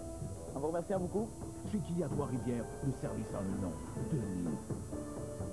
Présentement à l'affiche chez Kia Trois-Rivières. L'accord Mauricie et la Séjournal vous invitent à leur rencontre d'œuvres d'art le samedi 4 avril à la Cité de l'Énergie de Shawinigan. Ce souper bénéfice est sous la présidence d'honneur de Mme Carole Morin et M. Robert Trudel. Aidez-nous à contrer la violence conjugale. Chez Rona, choisissez et épargnez. Le samedi 14 février seulement, obtenez un rabais de 15% sur l'article de votre choix. Avec Rona, épargnez plus et faites-en plus. Rona, vous voulez, vous pouvez. Alors, on parle de ce couple d'un petit gars de 13 ans, d'une petite fille de 15 ans qui, en Grande-Bretagne, ont eu une petite fille. Et quand on voit la photo du petit garçon qui mesure 4 pieds, qui n'a pas mué encore, euh, qui euh, a l'air vraiment d'un petit gars de 8-10 ans, on se pose la question, est-ce que c'est, on peut laisser un petit bébé dans les mains de ces deux jeunes-là? Mario, ils disent, on va très bien élever notre enfant. Qu'est-ce que vous dites de ça? Le jeune, c'est même pas combien ça coûte des couches le jeune demande encore à son père de l'argent de poche. Il a 15 par semaine dans le Oui, mais avec 15 par semaine, on s'entend que ce ne sera pas grand-chose pour élever un enfant. Ça fait pas beaucoup de couches. Ça fait pas beaucoup de couches. L'enfant risque de rester avec la même couche pendant des longues périodes. Ça a un non-sens, toute cette histoire-là. Donc, euh, Marie-Paul, c'est impossible. Vous dites, bon, on ne peut pas se débarrasser des petits-enfants quand ça ne fait pas notre affaire. Bon, il, il le garde. Est-ce que c'est possible, à 13 ans et à 15 ans, de bien élever un enfant? Bien, ça dépend de la maturité. Euh, le petit gars, c'est un, un, petit gars, c'est un enfant. Puis la petite fille, elle a 15 ans. À 15 ans, la maturité n'est pas forte. Mais moi, la solution, je pense, qui est apportée à ces deux jeunes-là, c'est que la, famille, euh, la grand-mère, les grands-parents de, de, l'enfant prennent charge de l'enfant. Et euh, moi, je me dis, c'est une solution qu'ils ont fait. Je comprends qu'il y a de la pauvreté, mais c'est malheureux parce qu'il y en a plein d'enfants qui viennent au monde, qui sont conçus dans des conditions non favorables et non adéquates. Et tout ça, ça vient d'un manque, un manque et un manque d'éducation. Il y en a un gros problème sur la Terre. Il n'y a pas de formation et de bonne éducation à la sexualité humaine. Et c'est un problème auquel on, ne nomme pas, on ne fait pas face, et on laisse passer et on laisse passer. Ça fait des générations et des siècles et des siècles et des siècles que c'est comme ça. Alors, puis moi, je me dis, la sexualité, là, c'est pas, c'est pas une ça, affaire. Ça, ressemble à l'histoire aux États-Unis de la femme qu'on a parlé dernièrement, qui a eu huit enfants. Et elle, elle se dit dans sa tête, si je suis pas capable de m'en occuper, ma grand-mère, ma mère va s'en occuper. Donc, c'est relégué aux grands-parents. Les deux jeunes, lui a 13 ans, la petite fille a 15 ans. Ce qu'ils se disent spontanément, c'est soit on n'est pas capable de s'en occuper, on a des parents derrière de nous autres pour nous baquer, pour s'en occuper. la maturité, le niveau de maturité, il faut vraiment le Mais il y, a le père du petit gars qui dit, la maturité va venir à, l'expérience. Il dit, euh, écoutez, il aurait pu jouer du PlayStation toute la semaine, mais il a décidé d'aller à l'hôpital. Il est allé à l'hôpital donner un coup de main à sa blonde, plutôt que de jouer du PlayStation. On n'aurait pas pensé ça de lui auparavant. Je regardais le jeune là, sur les photos. C'est comme si, là, il y a le bébé entre les bras, entre les mains. C'est comme si c'était un jouet. Là. Ça va nous faire un petit jouet à catiner. Il y a quelque chose qui ne fonctionne pas. Il regarde ça comme qu'est-ce que je vais faire avec ça? Là? Il n'y a aucune idée. Alors, on s'entend pour dire qu'il faut que les familles hein, mettent l'épaule à la roue. Maintenant, Ah comment on s'organise? Madame Ross, là, actuellement, elle vit chez le père et la mère de la fille. elle vit chez son papa et chez sa maman. Lui vit chez sa... Attendez, je me retrouve chez sa mère. Son père, faut-il le préciser, a neuf autres enfants. Ils sont séparés, donc il demeure chez sa mère. Il va passer les journées chez ses beaux-parents, mais il retourne coucher chez lui. Et des fois, il couche là, et c'est pour ça qu'il y a un uniforme scolaire euh, qui est de rechange à, la, maison de sa, sa blonde. Alors, comment organiser une vie qui a du sens? Avec un petit gars de 13 ans qui se promène d'un endroit à l'autre, et qui va coucher chez... comme des amis, comme on couche entre amis, d'un point de vue organisationnel, comment on peut s'arranger? Ben moi, je me dis, là, les parents, à un moment donné, il faut aussi qu'ils fassent une bonne évaluation de la situation.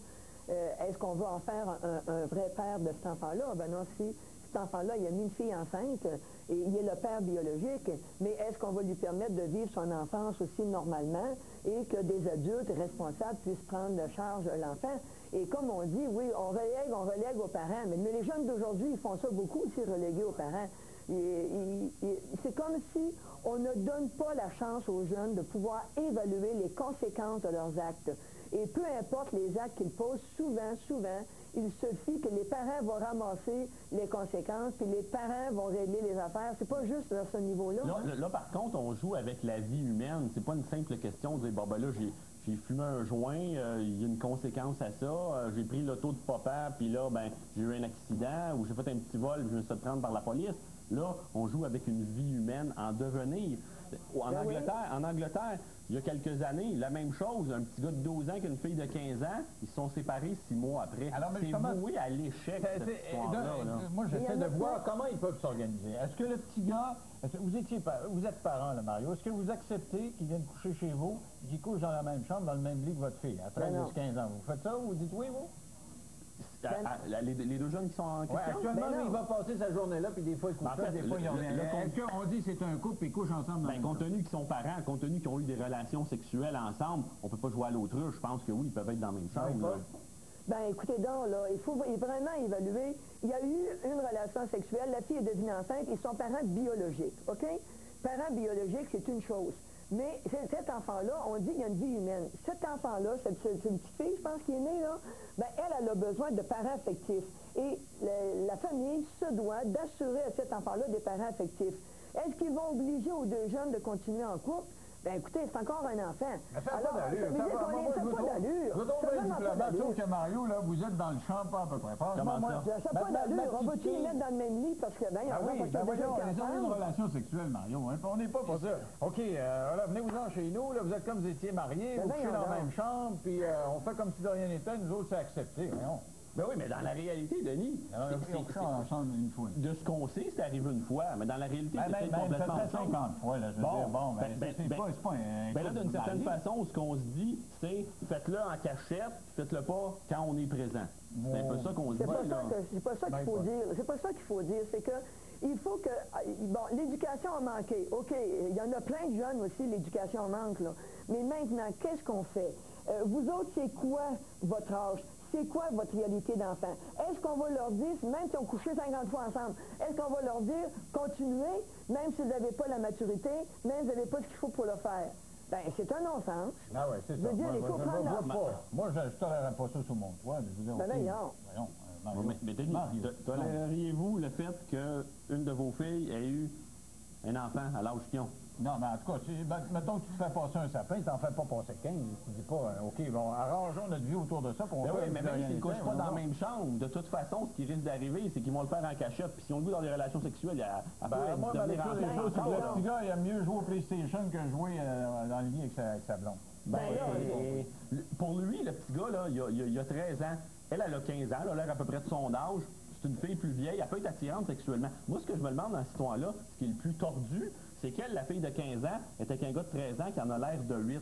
Et comme l'intérêt sexuel, C'est vrai, fait ça. qu'à ce jeune, face à ce jeune-là, je le questionne beaucoup. là. Ouais, vous voyez la pédophilie? euh, Non, je vois pas ouais. nécessairement de la On est pédophilie, rendu loin, là. mais il y a quelque chose de questionnable parce qu'il a l'air de son petit frère. Alors, Marie-Paul, vous devez nous quitter. euh, qu'est- Qu'est-ce que vous voulez nous dire en, en terminant là-dessus? Ben moi, je me dis, je souhaite, et malheureusement, à travers d'une épreuve humaine, à travers de la détresse humaine, je souhaite qu'un jour, on soit assez sensibilisé à la détresse que beaucoup de jeunes vivent dans leur sexualité pour nous, les adultes, prendre notre responsabilité d'adultes, les parents, les éducateurs, la société, le système de santé, le système d'éducation, et qu'on donne aux jeunes ce dont ils ont droit d'avoir, une bonne éducation sexuelle. OK. Merci beaucoup, Marie-Paul. Vous nous quitter. euh, et euh, le Doc Laberge va rester là. Euh, Mario, le Doc Laberge va venir nous retrouver après la pause pour se joindre à cette discussion fort intéressante sur nos valeurs, sur où on est rendu socialement, individuellement et familialement dans trois minutes.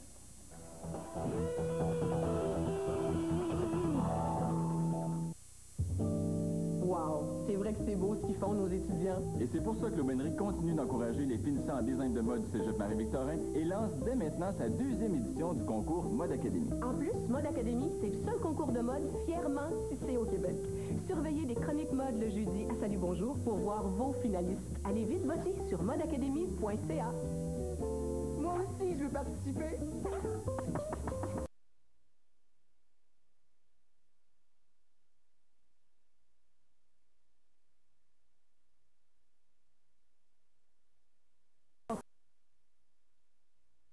quotidienne du club de triathlon Trimégo de Trois-Rivières.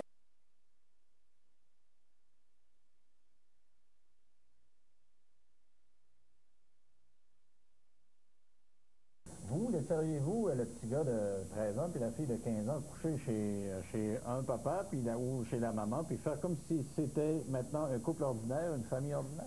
Mais c'est pas un couple maintenant, c'est une famille, puisqu'ils ont opté pour garder le bébé, ça devient une famille. Et un papa et une maman doivent être présents pour un bébé. La famille de madame et monsieur ont pris la décision, entre les tweets, ils ont pris la décision de garder les enfants. Qui dit garder enfants, dit garder parents. Et c'est ça qu'il faut qu'ils réalisent, les jeunes, c'est qu'ils sont devenus des parents. C'est pas un petit couple qui fait garder chez maman. Donc, vous êtes maman, vous voulez garder les deux dans la chambre? Mais les deux dans la chambre avec le bébé. Avec le bébé. Avec le bébé, parce que ce sont des parents. Ah, il y a une question de collaborateur. Je veux tu vas me dire. Denis. Ah, mon- Montrez-moi donc la photo. Là. Je veux voir la photo. Doc Laberge, regardez la photo. Alors, regarde, Hey, hey, hey. C'est pas, c'est pas, c'est pas devenu des fa- une famille puis un couple. Le petit gars, il a l'air d'avoir 8 ans et demi. Là. Puis à part ça, Mario, il dit Ah, mais il y a des pulsions comme tout le monde. Et lui, il dit Je l'ai fait juste une fois. Puis regardez la vinette. là. Il doit pas avoir les hormones dans le Oh, plafond. mais il fait pas ça que ça fasse, comme disait mon père. Non, non, mais il fait ça avec ses hormones. Ben, avec ses hormones, puis Il a- il a avec pas mué encore. Il a pas mué encore, puis il, joue au PlayStation. Moi, Denis, je suis d'accord avec Doc Laberge, fait que Denis, c'est vous qui êtes dans le champ. Non, non, ben, c'est pas vrai. la démocratie s'applique. OK, on n'a pas ouverte, puis on ne prend pas la peine, parce que je pense que vous seriez nettement minoritaire. Non, OK, alors, parlons de la dimension euh, réelle des choses. À, à 12 ans, justement, est-ce qu'on a une libido? Est-ce qu'on c'est, quoi ça? Elle est dans le plafond, ça Ouais. dépend des gens. Mais Les- ça, dépend de, ça dépend de leur Je vais pas normal. Moi, à 12 ans, je Non, hockey, mais je regarde, le gars qui mesure 5 pieds, puis le gars qui mesure 5 pieds et 10, il est-tu normal? Oui, il est normal. Ils n'ont pas leur poussée de croissance en même temps. Tu as combien de jeunes gars qui vont arriver jusqu'en secondaire 5, ils vont être des petits bouts, puis en secondaire 5, oui, ils vont te prendre un 9 pouces dans l'année, tu sais. Ça, ça arrive d'un coup sec. La libido, ça va avec la montée des hormones, avec leur testostérone, ils ne savent pas toujours quoi faire avec. Euh, Il y a des petits gars qui sont pas très grands, mais qui sont équipés en termes de gars. Leonardo DiCaprio, le petit blond, il a l'air équipé fit, C'est quoi ça, c'est équipé en termes de gars? Ça veut dire quoi, ça? ben, équipés dans le sens qu'ils ont des poils, ils Ah, ont des, des rêves humides, Des ils ont les caractéristiques de la je pensais c'est ça. Non, Ben non, non. non. OK, mais euh, là, c'est, c'est quand même sérieux. C'est que Tout à fait. le petit gars, il a 12 ans. Ouais. Vous le croyez pas quand il dit, moi, je l'ai fait une fois, je savais pas qu'elle allait tomber enceinte, puis je connaissais pas ça. Oui. Et je n'avais pas particulièrement le goût de Regarde, secondaire 5, graduation faite. Arrivé au CLSC, les deux petits couples euh, gradués secondaire 5, là, la promotion a eu lieu. Elle peut pas être enceinte, c'est tout ressorti le sperme. 2008. ça. C'est ça qu'elle pensait. Lui aussi. Lui aussi. Oui. Puis c'est deux étudiants secondaire 5 gradués. Tu sais, Alors, les jeunes n'ont pas nécessairement une éducation sexuelle solide. Ils ont même plus maintenant qu'on fait plus d'éducation sexuelle, ils ont même plus d'enseignement biologique répété. Alors, la confiance, le respect, euh, tout ça, c'est escamoté. Il n'y a plus de cours d'éducation sexuelle. Nous, les grossesses adolescentes, ça monte. Les ITSS, les infections transmissibles sexuellement et par le sang, ça monte. La gonorrhée, ça double. La syphilis, ça double. Les, les chlamydia, on n'en parle même pas. Alors, on ne fait pas d'éducation, on fait du traitement.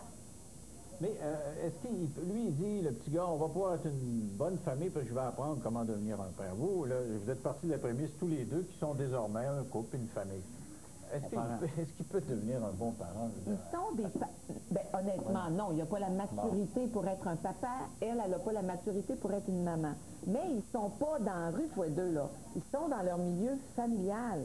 Alors, la famille va collaborer, j'espère, parce qu'ils les ont pas au moins mis dehors. Ils sont au moins pas à la rue. Ils n'ont pas à affronter les affaires du quotidien des parents. Trouver un loyer, trouver à manger, trouver un emploi. Ils ont, en guillemets, la possibilité ou le loisir d'aller à l'école si grand-maman décide de garder le bébé le jour ou ils vont partager les frais. Les jeunes, j'ai vu des jeunes, grossesses adolescentes exceptionnelles. La fille a 17, le gars a 18. Les parents décident de les aider des deux côtés à garder le bébé en question. Ils ont payé les études, ils ont la garderie les jours d'école, mais le soir vous organisez. Il faut qu'il y ait la partie de responsabilité qui va avec leur âge si tout le monde a décidé de garder ça, bébés-là. on, a, on a déjà entendu parler des cas de 15-16 ans. là. J'ai déjà eu euh, une jeune fille qui avait 14 ans ici euh, lorsqu'elle a eu un, premier bébé, mais le petit gars est un petit peu plus vieux. Puis bon. Mais là, 13 ans, là, on est rendu. c'est- des enfants, mais ils faisaient l'amour à 12 ans. C'est le plancher. Bon, ça, on est, on dans le bon. plancher, là, mais euh, justement... le plafond, c'est le plancher. Alors, mais mécaniquement, là, ça, ça marche à 12 ans. Mécaniquement, ce petit gars-là marche à 12 ans. Statistiquement, les petits marchent à 13-14. 12, c'est Ben, très rare. C'est le principe. Dès que le petit gars est capable d'avoir une éjaculation, C'est donc du sperme, ben, il est capable de féconder. C'est ça. Ben, c'est pour ça que moi, C'est la le même principe de la vision qu'ils C'est fait ça. C'est le 50 même fois, que le gars rien qu'à ça, faut Quand elle a ses menstruations, ça veut dire que bon, elle peut devenir enceinte. C'est ça. C'est c'est mécanique, là. C'est C'est-. C'est hormonal. Là. mécanique. Alors, si on parle d'éducation sexuelle, parce que ce que vous dites de Claverge, ça n'a pas de bon sens. On part de loin des fois. Je demandais tantôt à mes deux intervenants, ça a-tu de l'allure d'avoir enlevé les cours d'éducation sexuelle? Pas en tout. Ben, Pourquoi on fait ça? pas en tout. Regarde, c'est décidé. Les infirmières qui se promènent encore dans les corridors, puis qui connaissent les jeunes parce qu'ils étaient au primaire, puis euh, se promènent des fois là, pour aller faire des, des vaccinations, ça, ça pogne pas mal.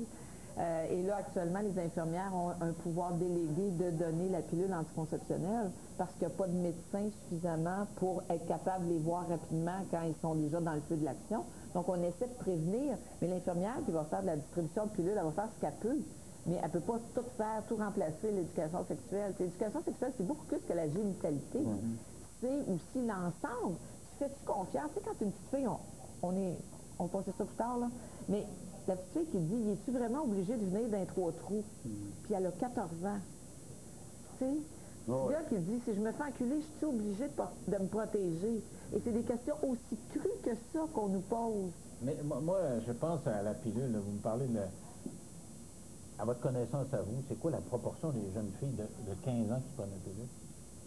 C'est pas si grand que ça. La moyenne d'âge des, re- des premières relations sexuelles, c'est à peu près 50% à 16 ans ont eu une relation sexuelle. C'est encore comme ça au Québec. Alors, c'est pas vrai que les petites filles ont toutes des relations à 13 ans. Et quand ils ont des relations à 13 ans, souvent, en tout cas, il y a eu des initiations par des gens autres. Je dis pas toutes, mais c'est des petites filles qui ont été initiées par un mononcle, un voisin, euh, sais, ça. Ils ont déjà eu un rapport un peu faussé à la sexualité. Et plus on parle de sexualité dans un sens normal, éducatif, on profite de la soirée, là, les parents à maison, profitez-en de parler de sexualité, de faire, toi, tes amis, ont-tu des relations sexuelles, penses-tu qu'ils en ont, tu la course aux, euh, aux premières relations sexuelles, tu vas pouvoir parler de ça, mais les gens n'en profitent pas. Mais les parents sont souvent inconfortables Oui. aussi à en Alors, qu'est-ce qu'on dit justement C'est si, ça si qui est le notre fille problème. de 14 ans dit je voudrais prendre la pilule, qu'est-ce qu'on dit? Ben, en fait, il faut lui demander pourquoi elle veut prendre la pilule pour justement l'amener à avoir un choix éclairé. Parce que dans la réalité, il faut, faut, faut jamais se cacher qu'une jeune fille, quand elle dit je veux prendre la pilule, c'est probablement qu'elle a peut-être le goût d'avoir des relations sexuelles. Donc, si de toute façon, on l'empêche, je pense, docteur Labert, vous me corrigerez, de toute façon, elle peut y aller voir le médecin sans demander le consentement du parent. Donc, je pense que c'est important pour le parent d'être derrière son enfant parce que si l'enfant se sent obligé de cacher des choses à son parent, quand il va vivre des choses, il n'en parlera pas. Donc, l'écoute du parent ne sera pas là, parce qu'il va vivre les choses en cachette, avec toutes les, bonnes et les mauvaises pensées que ça peut impliquer. OK, il reste 30 secondes. D'après vous, il y a moyen de faire un petit bébé équilibré? euh? Euh, ça dépend des grands-parents. Je te dirais que ça repose dans ce cas-là beaucoup sur le bon parentage des grands-parents. Parce que pour ces deux enfants-là, ils peuvent aimer cet enfant-là, mais l'organisation spatiale, ça serait fort surprenant avec, les études, les besoins. Puis les, ados, là, ils fonctionnent avec des gangs. C'est ça le développement de l'ado. Tu n'es pas fait pour te développer en ado un à un. Tu es fait pour faire partie de gang. Gang d'impro, gang de sport, gang d'école, gang de musique. Alors, ces enfants-là n'ont pas le temps ni le loisir. Ils ont Voilà, un ils vont être une joyeuse gang parce qu'ils sont cinq enfants plus euh, le petit bébé. et, L'important, euh, c'est qu'il y ait des bons modèles, mais est-ce que ces parents-là, ces grands-parents-là, sont pas eux-mêmes peut-être des ados attardés? hein? Ah, ben là, ben là, on les connaît pas. Non, on les connaît pas, mais s'ils ont des bons parents, une bonne équipe autour, théoriquement, on pourrait sauver le bébé, mais les parents eux-mêmes auront-ils vécu leur adolescence? Vivront-ils leur adolescence à 40 ans? Ouais. Ben, Peut-être qu'à 40 ans, ils vont avoir euh, tendance à fêter fort fort. Merci beaucoup. Restez là au retour. Salma Hayek a trouvé une façon particulière de faire la promotion de l'allaitement en Afrique. Pascal Wilhelmy, on revient pas après la pause.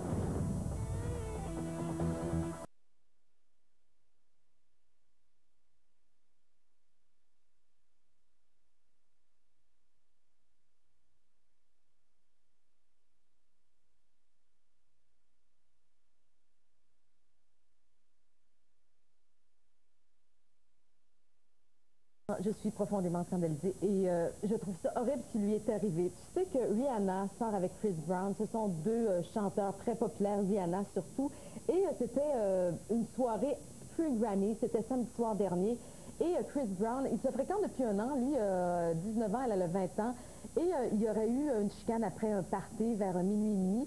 Et finalement, euh, il aurait frappé, mais sévèrement, Rihanna. Il l'aurait laissé là carrément. il l'aurait abandonné euh, sur la route. Elle vraiment frappé au point où elle était sans connaissance? Elle a perdu connaissance. Elle a repris connaissance et la police a été euh, appelée sur les lieux. Et on dit, en tout cas, sur plusieurs sites Internet, qu'elle n'arrivait même pas à ouvrir les yeux tellement ils étaient signifiés. Il y a des photos. On n'a pas vu aucune photo sur Internet, mais elle a été vraiment sévèrement battue. Lui s'est présenté euh, à la police dimanche dernier, donc 24 heures, un petit peu moins de 24 heures plus tard. Bon, il est euh, sous caution, il a donné 50 000 Et là, ce qui me choque énormément dans cette histoire-là, c'est que Chris Brown, qui a finalement tabassé cette, femme-là, a tout de suite, lui, a décidé de mettre sur son site Internet, Facebook, de dire, de changer son statut, de dire qu'il était célibataire plutôt que de se taire ou dire, de, de, faire des excuses publiques, lui, il a voulu tout de suite à, dire, bon, je suis plus avec elle, je suis célibataire. Et il serait actuellement à Las Vegas avec ses amis en train de, je sais pas, de se repentir sûrement, là, mais c'est assez triste cette histoire-là. Donc, il euh, voulait montrer qu'il était un tough. Un tough. Et là, on apprend que Rihanna, qui est vraiment une superbe fille et qui est l'idole de bien des gens, aurait peut-être été victime de violences conjugales auparavant. D'ailleurs, on peut voir euh, sur... Euh, ça, se passait sur American Music Awards il y a mhm. quelques mois. Et tu vois, elle porte cette espèce de cache-œil, ce bandeau de pirate. Et là, on se dit, il y a une raison pour ça, et elle doit retourner voir les enquêteurs. Ah, on pensait à l'époque peut-être que c'était un déguisement. Ben, c'est un déguisement, mais maintenant qu'on sait que c'était une relation qui pouvait être violente, on se dit que peut-être ce jour-là, elle tentait de camoufler donc une blessure. Voilà, c'est très triste. Tu nous parles de Salma Hayek qui a donné d'elle-même. Ah, elle, a donné beaucoup d'elle-même, oui. Ça, vraiment, ça, me réconforte, cette histoire-là. Salma Hayek qui était en Afrique, elle était en Sierra Leone, puis elle faisait un voyage humanitaire. Puis elle arrive dans un dispensaire où il y avait des enfants malades, tout ça. Et il y avait un petit bébé qui pleurait. Et là, elle a décidé, elle, spontanément, parce qu'elle allaitait sa fille Valentina à l'époque, mhm. elle a décidé de, son, son, corset et sa poitrine généreuse de, la partager finalement avec cet enfant. Et le petit bébé a spontanément arrêté de pleurer. Regarde les yeux, il a-tu l'air bien? Alors, elle a ah, allaité... Un qu'elle connaissait pas, ben non, du tout, du tout. Donc, elle a décidé de faire un bon geste et semble-t-il que l'enfant a été rassasié amplement. Puis elle dit, moi, Harry a dit, moi, ma fille a dit, quand je vais lui raconter ça, je vais lui dire, j'ai partagé, tu sais, ton lait avec un autre enfant. Je suis sûre qu'elle aurait été d'accord. Donc, je trouve que c'est un, un, beau geste. Je trouve ça très agréable de voir ça. va se faire raconter ça longtemps. Peut-être, hein, sûrement. Donc, euh, puis ça existe partout dans plein de pays encore, des, des, des, des mères nourrices. C'est juste qu'ici, on le fait moins. OK, quelque chose de moins drôle, c'est Joaquin Phoenix. Il paraît qu'il est un peu perdu, de cet acteur-là. Il va pas bien. Tu sais qu'il a décidé, là, il y a quelques mois, qu'il lâchait, là, lui qui était très bon, le vu interpréter Johnny Cash dans Walk the Line. Euh, il a décidé qu'il délaissait le cinéma et qu'il s'en allait faire une carrière hip-hop. Et là, il faisait la promotion d'un de ses derniers films. Euh, c'était cette semaine au show de David Letterman. Et il y a eu vraiment comme, il n'a pas dit un mot, à peu près pas un mot. C'était tellement étrange. Il a dit, dans toute l'entrevue qui durait 8 minutes, ça, il a peut-être dit cinq mots. Et on dit qu'il joue un personnage, que ça se peut pas que ça soit comme ça. Il mais parlait pas, là. Il parlait pas. Il, à un moment donné, il a mis sa gomme, il l'a enlevé, il l'a mis sur le bureau de David Letterman. Ça a été vraiment très spécial. Et, on, oui, on va écouter, mais regarde, la fin de ça, c'est vraiment très drôle. On l'écoute. Haven't seen the film yet, yeah. Uh, what a surprise. I'll come to your house and chew gum. Uh, okay, I don't have to no, chew gum. No, just relax. I won't chew the gum. I won't chew the gum. And uh, Joaquin, I'm sorry you couldn't be here tonight.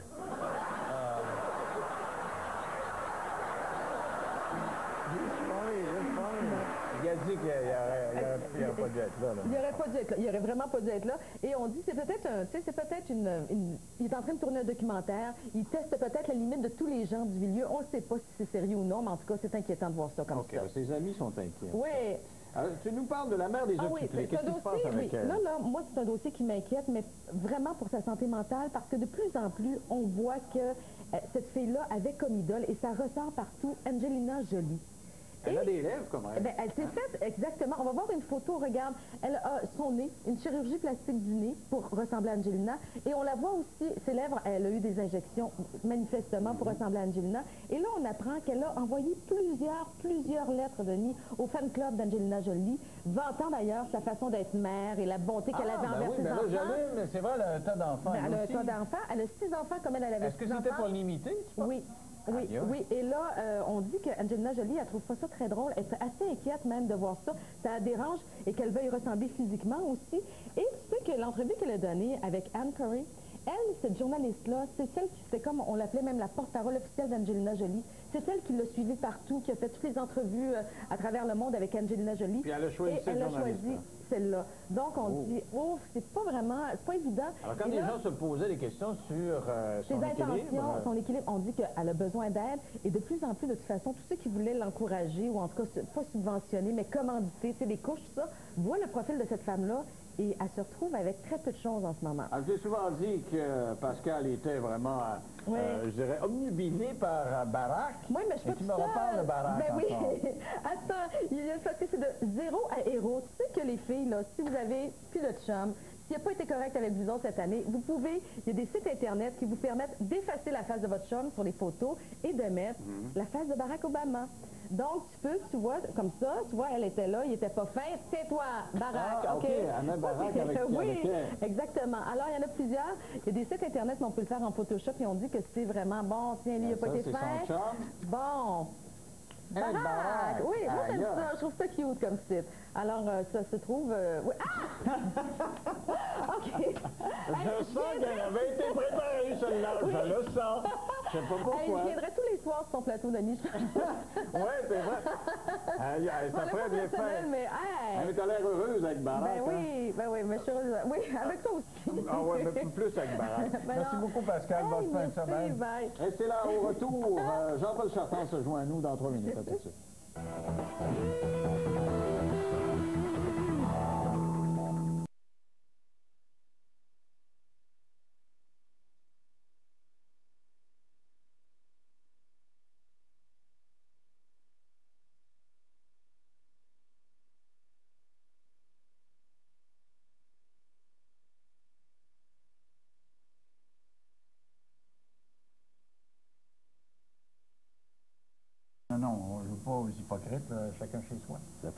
Ans, le gars a 13 ans. Oui, ils ont été Ben non. peu importe. Non, je pense Bon, OK, on est dans la même école. pas. Ben, écoute, peut-être qu'il y en a qui vont trouver que je suis vieux jeu, mais 15 et 13, il me semble Ah, c'est pas. pas vieux jeu. Je veux dire, c'est- je pense que c'est nos sexologues qui, qui sont trop jeunes jeux. Et les autres, ils disaient qu'ils Ben, faisaient... les autres, ils disaient qu'ils allaient laisser coucher la petite fille puis le petit gars, puis ils allaient faire comme si c'était une famille, puis, euh, tu sais, regarde, Ouais. les petits gars, ils étaient laissés coucher ensemble dans, c'est- chambre? C'est les parents du petit, Ouais, ça? c'est ça, ouais. C'est le père du petit. Absolument. Ben, non, toi.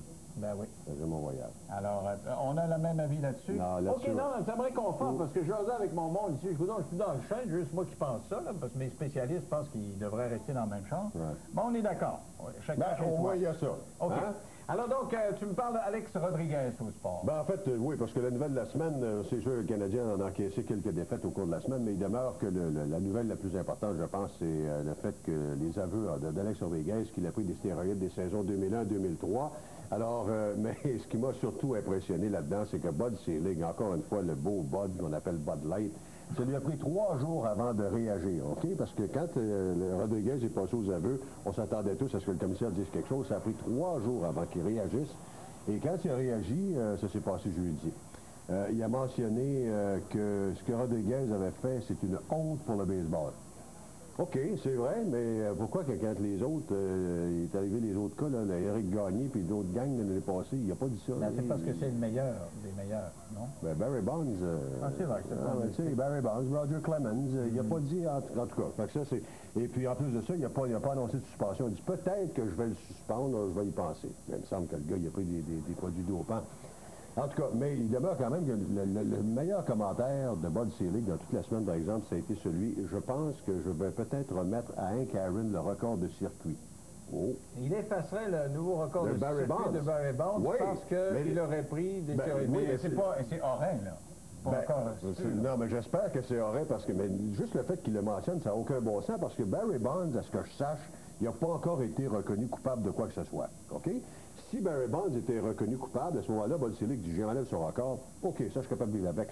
Mais comment peut-il arriver au moment où le gars est en procès, ça va commencer dans pas grand temps, comment peut-il arriver à un gars qui s'en va en procès et dire je pense que je vais y enlever son record et je vais redonner ça à Hank Aaron? Je pensais, moi, qu'en Amérique du Nord, ça Non, chose de au Canada, façon, pas. États-Unis? S'il enlève le record de ce gars-là, il faut qu'il enlève toutes les statistiques de écoute des Ben là, ça va Il être Roger 100, Clemens, ça va être 100 Alex qui ont été... euh, 104.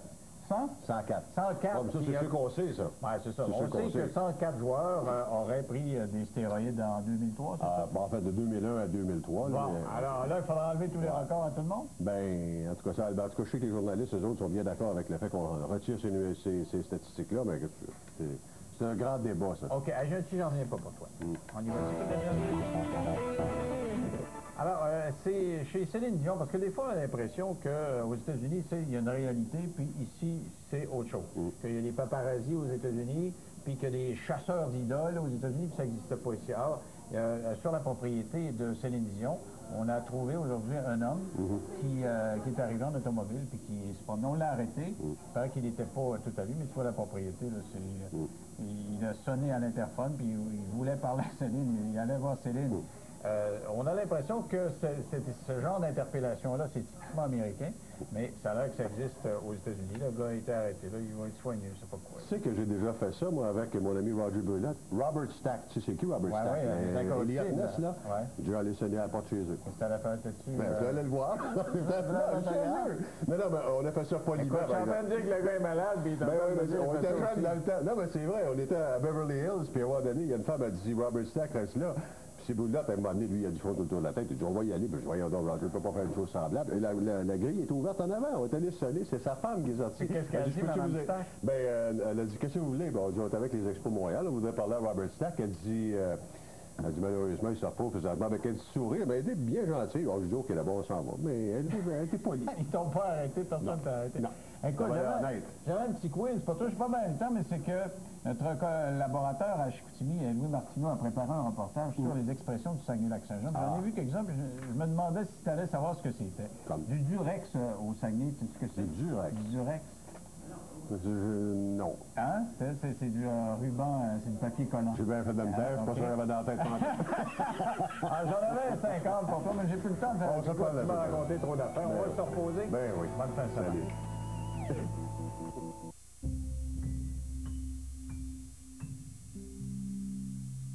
Ce film est présenté avec moins de pauses publicitaires.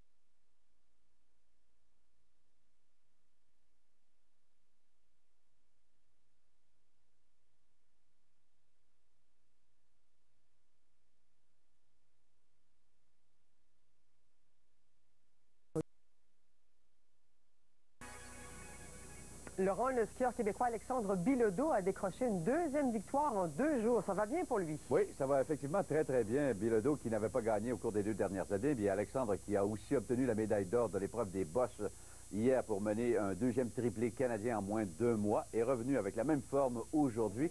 Et cette fois-ci, c'est l'épreuve des bosses, mais en parallèle où Bilodeau a dominé toute la concurrence présente pour ce week-end de la Coupe du monde de ski acrobatique à Ere en Suède.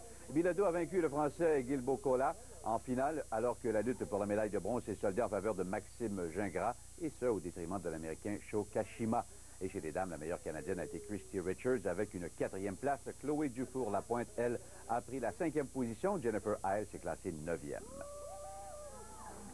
Et puis la Canadienne Anna Goodman s'est classée au 12e rang du slalom féminin des championnats mondiaux de ski alpin ce matin à Val d'Isère, dans les Alpes françaises. Huitième après la manche initiale, Goodman a commis une faute en perdant l'équilibre à mi-parcours de la seconde. L'autre Canadienne en lice, Bridget Acton, a dû se contenter de la 25e position. L'Allemande Maria Ries a remporté la médaille d'or, reprend ainsi à son pays sa deuxième médaille d'or à ces mondiaux. Sa compatriote Catherine Holtz l'a emportée en slalom géant plus tôt cette semaine. L'une des favorites américaines, Lindsey Vonn, deuxième après la manche initiale, a chuté lors de la seconde. Et la Britannique Samantha Davis est devenue la cinquième femme de l'histoire à terminer le vent des globes. Oui, Brigitte, on parle d'un tour du monde à la voile en solitaire, sans escale et sans assistance. Davies a franchi la ligne d'arrivée de cette course mythique de 95 jours et 4 heures. La place en deuxième position dans la catégorie féminine. Derrière sa compatriote Ellen MacArthur en 2001, voici le reportage de nos collègues de la télévision française. Heureuse, Samantha Davis. Arrivée à bon port au Sable d'Olonne, embrassée par ses proches. Ce soir, Mademoiselle Davis fêtera la Saint-Valentin avec son bien-aimé. Voilà Bien. une belle conclusion, Brigitte. Tout à fait. Merci beaucoup. Au revoir, Au revoir. Laurent. Et pour plus de détails sur nos informations nationales et internationales, rendez-vous sur le site Internet de Radio-Canada. Et nous, on se retrouve dans quelques minutes pour d'autres nouvelles. À tout de suite.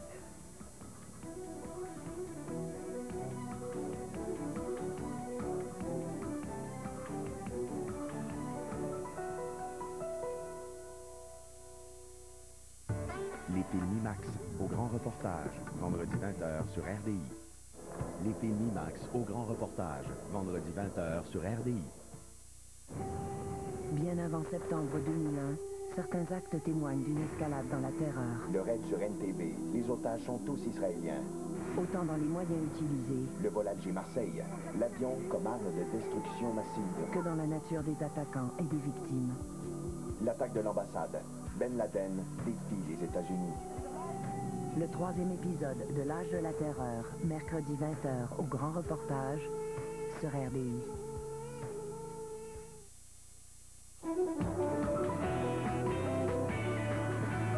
Écrasement d'avion près de Buffalo, la communauté de Clarence se serre les coudes devant l'épreuve. La bataille des plaines d'Abraham n'aura pas lieu, la commission annule la reconstitution.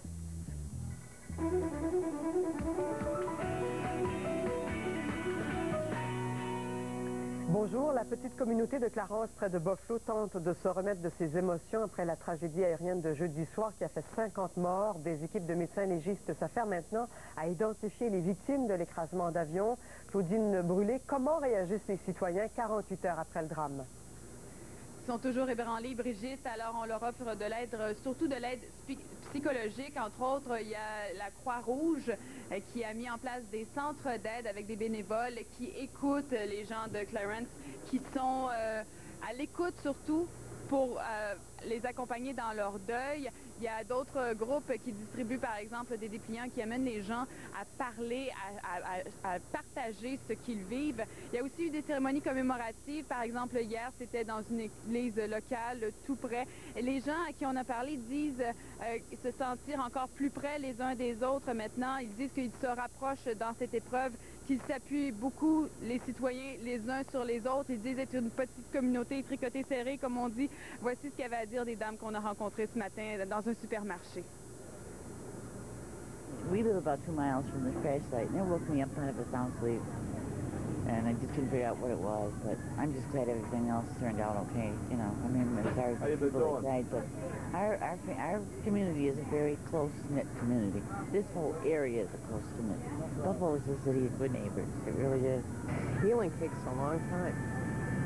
And it starts with the community. I don't know, it's going to take a long time. I think a lot of people are still in shock. It's hard to imagine, you know, this type of a, a tragedy. Les équipes d'urgence nous ont dit aussi être ébranlées parce que la scène de l'écrasement, c'est une scène euh, à laquelle ils ne sont pas habitués. Ils disent que c'est même horrible. Voici euh, le chef de pompiers local. my jaw drops and just, oh my God, you know, uh, there's people, um, you know, it's just, it's not supposed to happen here. You know, you hear it on the news, you see it on the news, but it's not supposed to happen in the town of Clarence. Know, that's the biggest thing, especially in that area where it's the center of Clarence, uh, where all the people live, you know, it's so populated that uh, I can't believe only one house was taken out. It should have been blocks of houses taken out, more people should have been killed, and thank goodness, you know, unfortunately, only one person did get killed on ground, but thank goodness, not, no more uh, were killed. Bon, Claudine, le travail risque quand même d'être long, là. hein? Effectivement, il y a beaucoup de gens d'ailleurs euh, sur le terrain, Brigitte. Il y a une centaine d'experts, euh, euh, des policiers, des gens, des experts médicaux aussi, des experts en aviation qui tentent à travers les décombres, de trouver des indices sur ce qui s'est passé, mais aussi d'identifier les victimes. Et ça, ça serait une lourde tâche qui prendra plusieurs jours. Et le temps que dure ce travail, les résidents qui habitent non loin ne sont pas autorisés à retourner chez eux. Ils, devront, ils devront faire des plans, donc, parce qu'ils pourraient prendre encore quelques jours avant qu'ils puissent retourner à la maison. Merci, Claudine. Je vous en prie. La polémique aura eu raison de la reconstitution.